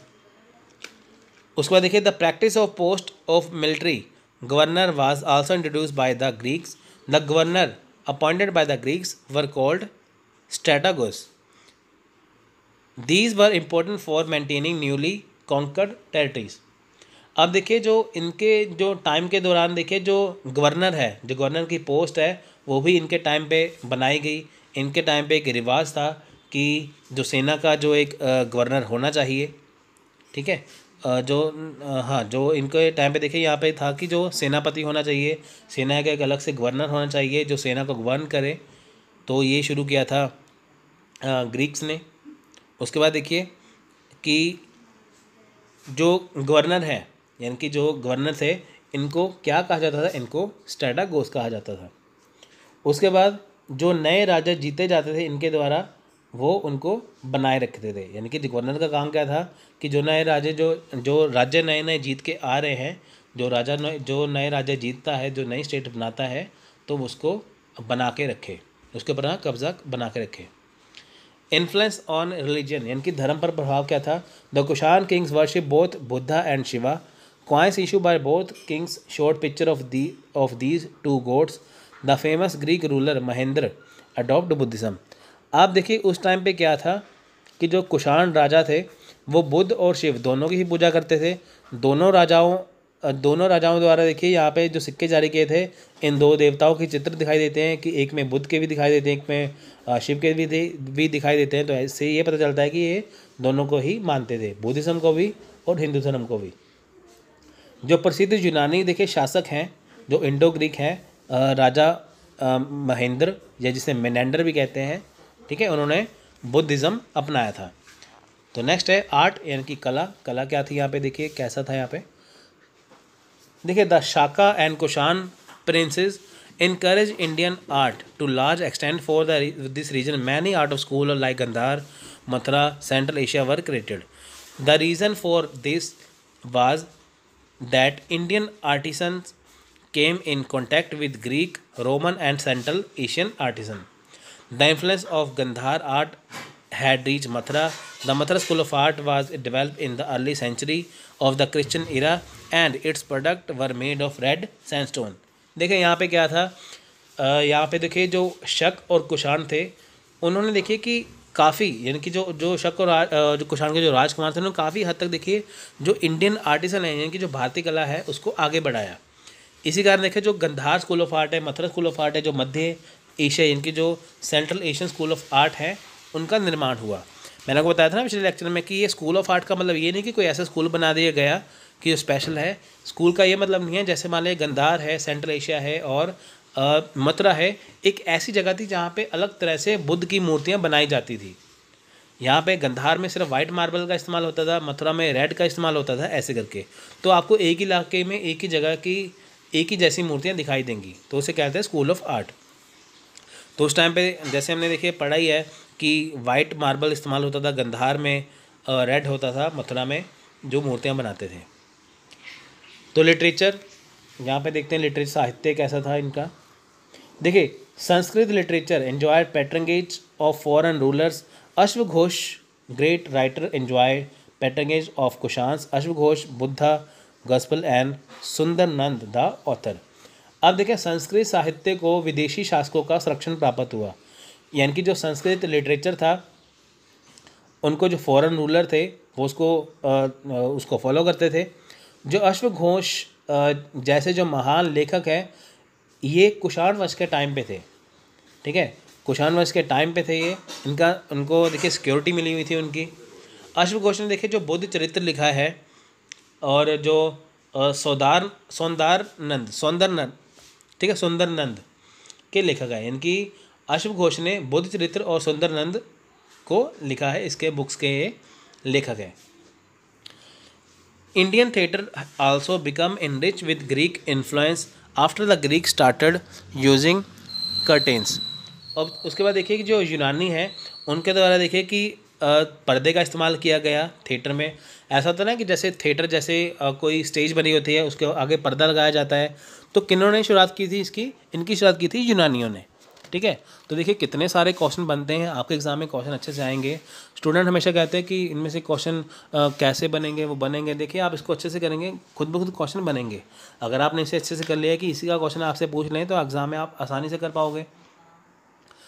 तो यहाँ पर हम बात करेंगे नेक्स्ट बात करेंगे यहाँ पर साइंस एंड टेक्नोलॉजी की, जो लास्ट ही है देखिए Indian astrology was influenced by Greek ideas which originated the word Horashastra with the word horoscope यानी कि देखें, यहाँ पे जो भारतीय ज्योतिष है, जो इंडियन होरोस्कोप है, वो ग्रीक विचारों से प्रभावित थी।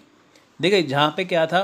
होरोस्कोप जो शब्द यहाँ से आया था। होरोस्कोप जो स्कोप जो शब्द है, वो कहाँ से आया था? वो होरा शास्त्र शब्द से आया था। यानी कि होरोस्कोप जो जन्म कुंडली जिसे कहा जाता है वो होरा शास्त्र वर्ड से उत्पन्न हुआ है, जो ग्रीक से, जो ग्रीक का आइडिया था। The Greek coins had a better shape and currency that the punch mark coin which became quite prevalent in India देखिए, उस टाइम पे क्या था, जो जो ग्रीक कॉइन थे, जो यूनानी जो सिक्के थे, वो बहुत ज़्यादा मशहूर थे, बहुत ज़्यादा वो बेटर शेप के थे। और जो उनसे, इनकी, देखिए, जो करेंसी थी, वो पंच मार्क थी। पंच मार्क का मतलब होता है कि जैसे कोई जैसे कोई मेटल है, उसके ऊपर वो ज़ोर से कोई चीज़ मारते थे, उसके ऊपर वो चिप उसका डिज़ाइन बन जाता था। जैसे स्वास्तिक का मान लीजिए निशान है, और उसको ज़ोर से मारेंगे तो उसका वो शेप बन जाएगा वैसे ही। ठीक है, उसे पंच मार के कहते हैं। The word drama also originated from the Greek word drachma अब देखिए, जो ड्रामा शब्द है, वो ड्रैकमा शब्द से या ड्रैचमा शब्द से निकला है, जो ग्रीक भाषा का शब्द है।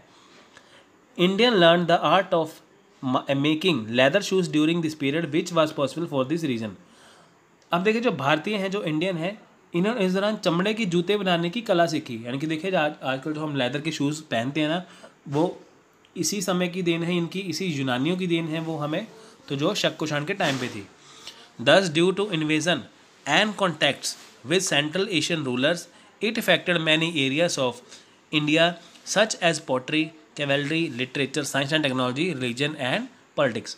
अब देखिए इस प्रकार क्या हुआ था कि जो आक्रमण यानी कि जो हमले हुए थे वो मध्य एशियाई यानी कि जो सेंट्रल एशिया के जो राजा थे उनको उनके देखिए जब वो आए थे उनके दौरान हुए थे इसका असर भारत में भी देखने को मिला। यानी कि देखिए जिस टाइम पे जो युद्ध हो रहे थे जो आक्रमण हो रहे थे इसका जो देखिए असर भारत पे देखने को मिला। जैसे आ, मिट्टी के बर्तन देखने को मिले घुड़सवार सेना देखने को मिली लिटरेचर विज्ञान वगैरह साइंस एंड टेक्नोलॉजी धर्म वगैरह सब कुछ यहाँ पे देखने को मिला। जैसे जैसे राजा आते गए वो अपने अपने चीज़ें को करते गए तो यहाँ पे वो चीज़ें इंडिया का जो पहले का जो एकमात्र देखिए जो इतिहास है वो पहले का इतिहास वो पता करेंगे। Megalithic culture and pre Sangam era यानी कि मेगालिथ जो संस्कृति है वो और Sangam pre Sangam era pre Sangam era यानी कि पूर्व संगम काल यानी कि जब हम संगम काल की बात करेंगे चोल चेर पांड्या की उससे पहले वाला क्या क्या था? तो उसके बारे में बात करेंगे। देखिए, the neolithic chalcolithic amalgam which seems to have been around around about two thousand B C continue up to about the middle of the first millennium B C आप देखिए कि यहाँ पे की अगर हम बात करें, यहाँ पे ये बताया गया है कि जो, ये जो मेगालिथ वाली जो शुरुआत है, ये कब से शुरुआत है? ये न्यू चैल्कोलिथिक से शुरू होके, ये 2000 बीसी से लगभग जो फ़र्स्ट मिलेनियम बीसी है। मिलेनियम का मतलब यहाँ पे एक हज़ार साल। यानी कि 2000 ईसा पूर्व से फ़र्स्ट मिलेनियम बीसी तक, यानी कि एक हज़ार साल तक ये चला था। ठीक है? तो आप देखिए यहाँ पे क्या बात हुई है। यहाँ पे ये बताया गया है। देखिए मैं आपको सिंपल सा ये बताता हूँ कि हम पढ़ने क्या वाले हैं। हम पढ़ने वाले हैं कि जो साउथ इंडिया की जो हिस्ट्री है, वो हमें किसी चीज़ से पता नहीं चलती कि कौन सी हिस्ट्री है। हमें वो सिर्फ़ ऐसे ही पता चलती है कि जैसे मेगालिथ है। मेगालिथ का मतलब होता है, मेगा मतलब होता है बड़ा। लिथिक का मतलब होता है पत्थर, यानी कि बड़े बड़े पत्थर। देखिए, जब किसी की डेथ हो जाती थी, तब वहाँ पे क्या करते थे कि उसको दफनाने के बाद उसके आसपास बड़े बड़े पत्थर लगा देते थे। तो उससे हमें पता चलता है कि हाँ ये जो है, ये दक्षिण भारत की या साउथ इंडिया की एक जो महत्वपूर्ण या इम्पोर्टेंट रस्म थी वहाँ पे। एक रिवाज था, जब कोई मरता था, उसके आसपास क्या है बड़े बड़े पत्थर लगा दिए लगा दिए जाते थे। अगर कोई ब्रेव सोल्जर मर जाए, बहादुर सिपाही मर जाए तो उसके आसपास बड़े बड़े पत्थर लगा दिए जाते थे। तो इससे पता चल जाता था कि हाँ ये बहादुर सिपाही सिपाही की जो इसे वहाँ पे दफनाया गया है। सिंपल इंसान मेरे तो छोटे छोटे पत्थर लगाते थे। तो इनके बारे में, अगर हम ऐसा देखें ना कि साउथ इंडिया के इतिहास वहाँ पे लिखा हो तो ऐसा कुछ नहीं है। वहाँ पे हमें सिर्फ़ साउथ इंडिया के इतिहास के बारे में थोड़ी सी चीज़ें ही मिलती हैं। वो सिर्फ़ हमें मेगालिथिक कल्चर से प्राप्त होगी या संगम काल का जो शुरुआत है, उससे शुरू होने से पहले जो जो चीज़ें थी, उसके बारे में से हमें साउथ इंडिया के बारे में पता चलता है। देखिए it was the been it it was then overlap by the megalithic culture inhabited by the megalith builder they were they are known not from from their actual settlement which is rare but from their graves these are called megalith because they were encircled by big piece of stone देखिए यहाँ पे क्या है कि देखिए कि जो megalith है, मे ऐसा नहीं है कि हमें जो अगर हम साउथ इंडिया के बारे में जानना चाहते तो सीधे ही ऐसे मिल जाएगा, ऐसा नहीं है। हमें ज़्यादातर जो साउथ इंडिया है उसके बारे में मेगालिथ से ही पता चलता है। मेगालिथ है क्या देखिए, जैसे मैंने को बताया ना अभी, साउथ इंडिया में एक रस्म थी कि जब कोई मरता था उसको दफनाने के बाद आसपास क्या है बड़े बड़े पत्थर के टुकड़े लगा दिए जाते थे। तो उसे बोलते थे मेगालिथ। देखिए ये मैंने अपना जो शुरुआती जो मेरे लेक्चर हैं, जो लेक्चर दो या दूसरा, तीसरा लेक्चर होगा, उसमें मैंने आपको ये, उसमें भी बताया हुआ है, ठीक है? तो मेगालिथ को आप गूगल पे भी सर्च कर सकते हैं तो आपको फ़ोटो बनी आ जाएगी जिसके ऊपर तो उस पर बना हुआ है कि जैसे किसी की कबर बनी हुई है, उसके आसपास क्या है, एक मिट्टी का घड़ा रखा गया है, साथ में बड़े बड़े पत्थर रखे गए हैं, ठीक है? तो उससे पता चलता है कि ये जो रस्म थी, ये साउथ इंडिया में ही थी। यानी कि अगर हम कहीं पे मेघालय देखते हैं तो हमें यही पता चलता है कि ये साउथ इंडिया का इतिहास है। About the beginning of the Christian era the megalith in south India was overlapped by what has been called Andhra culture on the count of the acres of Andhra coins आप देखिए यहाँ पे अगर आप बात करें क्रिश्चियन युग की, यानी कि जब क्रिश्चियनिटी की जब शुरुआत हुई थी, वहाँ पे हमें मेघालय संस्कृति देखने को मिली थी। लेकिन उसके बाद जब आंध्र, जो संस्कृति है, यानी कि जो आंध्रा कल्चर है, वो हमें पता चलता है उसके सिक्कों से। अगर हम कहते हैं ना कि यानी कि इनका व्यापार था उनसे, वो हमें पता चलता है सिक्कों से। यानी कि जब ईसाई युग की शुरुआत थी, क्रिश्चियन युग की शुरुआत थी, वो हमें पता चलता है मेगालिथ कल्चर से साउथ इंडिया से। उसके बाद अगर हम आंध्रा संस्कृति, आंध्रा कल्चर की बात करें, उनके बारे में हमें सिक्कों से कॉइन से पता चलेगा।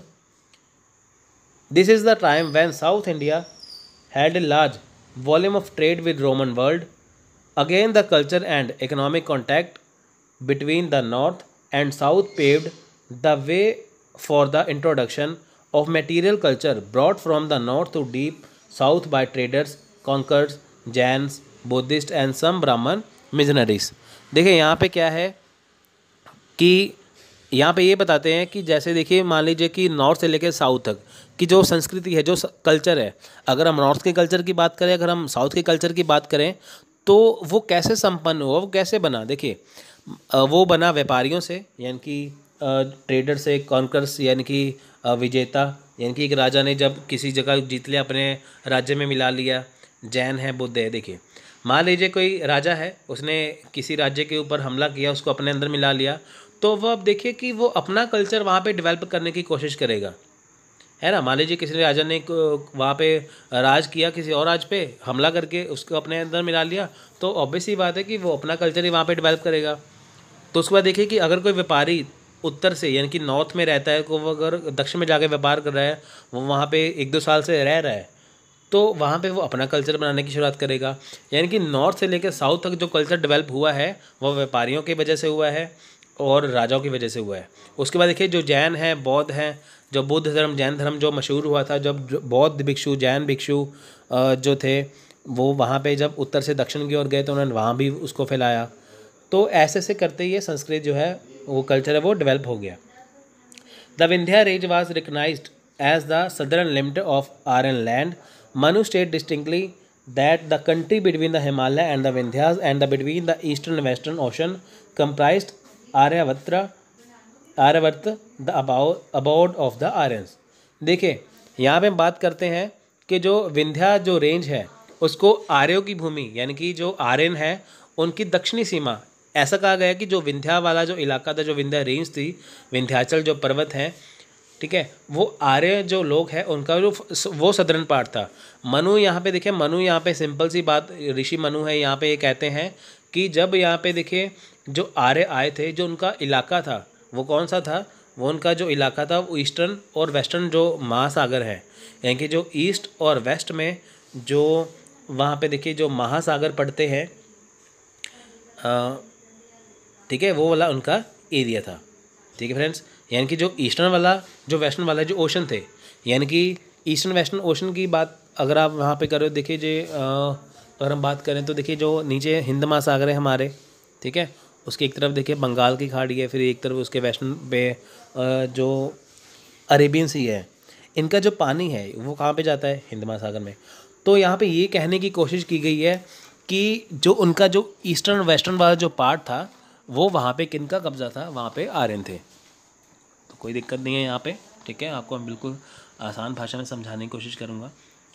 The Suttanipata of the Buddhist canon records that the teacher Bavari left Kosala and settle in a village of Godavari in the Shokan country in the Dakshinapatha अब देखें यहाँ पे बताया गया है कि जो सुतना पिट में बताया गया है कि जो जो शिक्षक थे, यानी कि जो बुद्धिस्ट, जो शिक्षक थे, जो टीचर थे बाबरी, उन्होंने देखो कौशल को छोड़ दिया कोसाला को छोड़ दिया, फिर वो कहाँ पे जाके बस गए? फिर वो असाका ठीक है? ओसाका में जाके बस गए। ओसाका कहाँ पे पड़ता है? गोदावरी रिवर के आसपास ये पड़ता है। यानी कि जो टीचर थे बाबरी, इनका जिनका देखिए ये बुद्धिस्ट टीचर थे बाबरी, जो यहाँ से कोसाला को छोड़ा, गोदावरी के पास जाके वो बस गए, ठीक है? जो दक्षिणापथ में है, ये किसके पास है? गोदावरी नदी के पास है।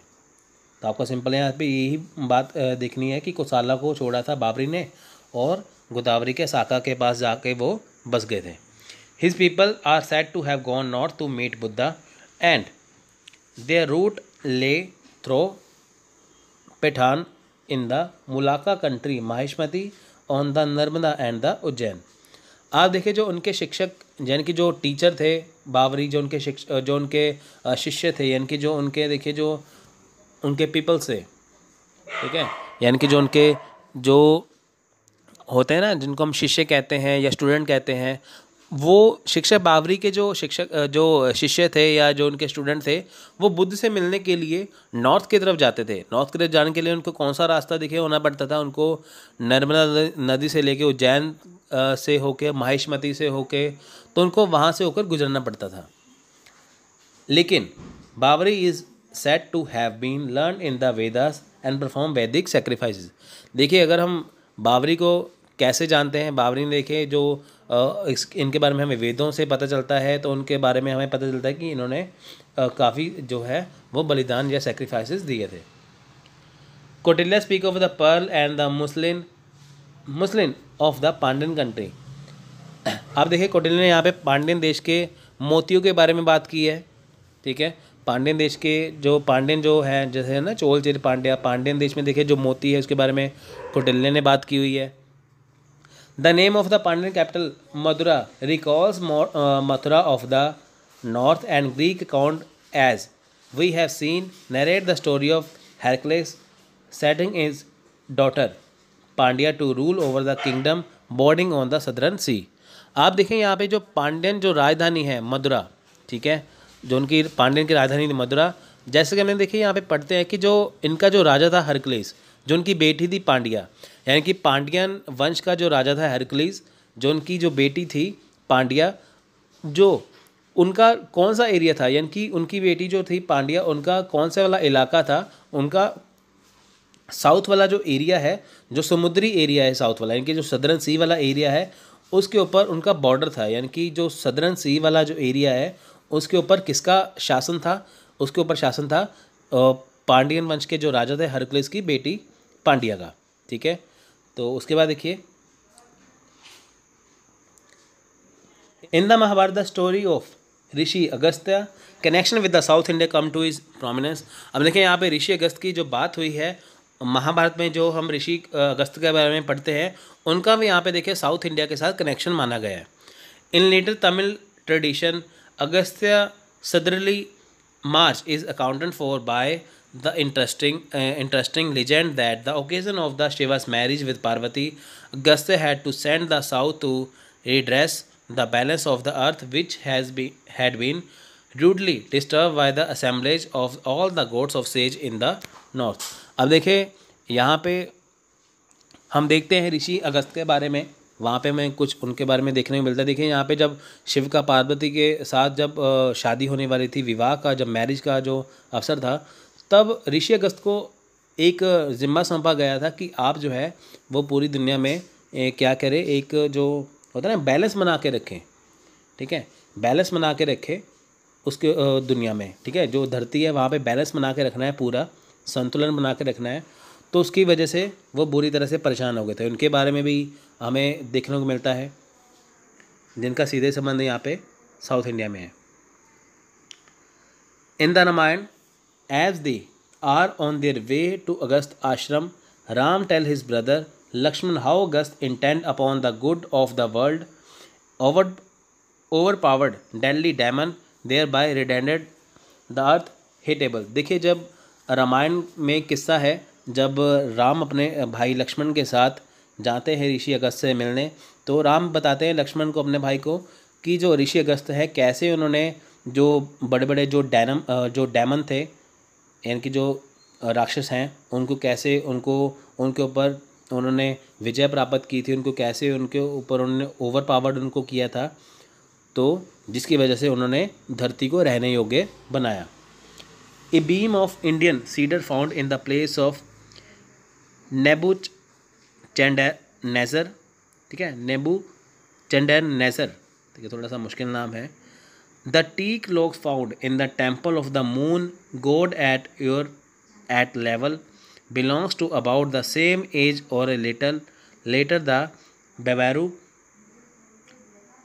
Jatakas which relates relates the adventure of the certain Indian merchant who took the first peacock by sea to Babylon all confirm the existence of active maritime intercourse between the south India and its western neighbour अब देखिए, यहाँ पे ये बात बताई गई है कि जातक कथाओं के अगर हम बारे में बात करें कि जो जतका टेल्स जी ने कहते हैं, वहाँ पे देखिए कि वहाँ पे जो कुछ भारतीय जो है, उनका व्यापार कैसा था अ, इंडिया के साथ यानी कि जब इंडिया के साथ वो कैसा व्यापार करते थे तो वहाँ पे ये बताया गया है साथ में ये बताया गया है कि वो समुद्र के रास्ते थे। देखिए जो होते हैं ना जो जो पैदल चलने वाले मोर हैं उनको अपने साथ ले गए थे। तो इनके बारे में यहाँ पे बताया गया है। और जो बेबी लोन का जो एरिया है वहाँ पे वो कैसे बेबी लोन का देखिए जहाँ पे ऐसा होता था इंडिया के साथ जो रोमन का भी और ग्रीक का भी वो व्यापार रहता था यहाँ पे तो कैसे व्यापार करते थे कैसे वो अपने बंदरगाहों के साथ साथ कैसे वो अपने जो पोर्ट्स है, वहाँ पे इंडिया के साथ कैसे व्यापार करते थे? इंडिया से वो सोना, मसाले वगैरह सब कुछ यहाँ पे लेके जाते थे। तो सब कुछ इसमें बताया गया है।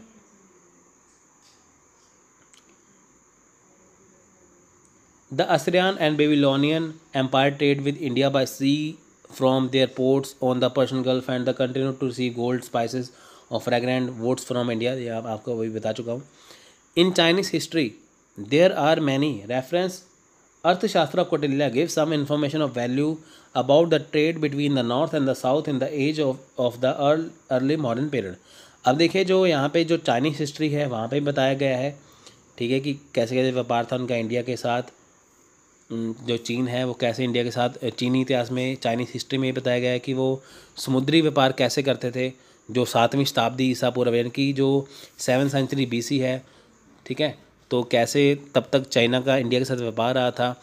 और कुलेला का अगर हम अर्थशास्त्र देखें तो वहाँ पे ये पता चलता है कि जो उसका अगर हम नॉर्थ और साउथ की, यानी कि उत्तर और दक्षिण के बीच के व्यापा- व्यापार की बात करें तो कुटेल्या का अर्थशास्त्र हमें जो भारत के जो उत्तर और दक्षिण, यानी कि नॉर्थ और साउथ का जो व्यापार है, जो बिज़नेस है, वो भी पता चल जाता है।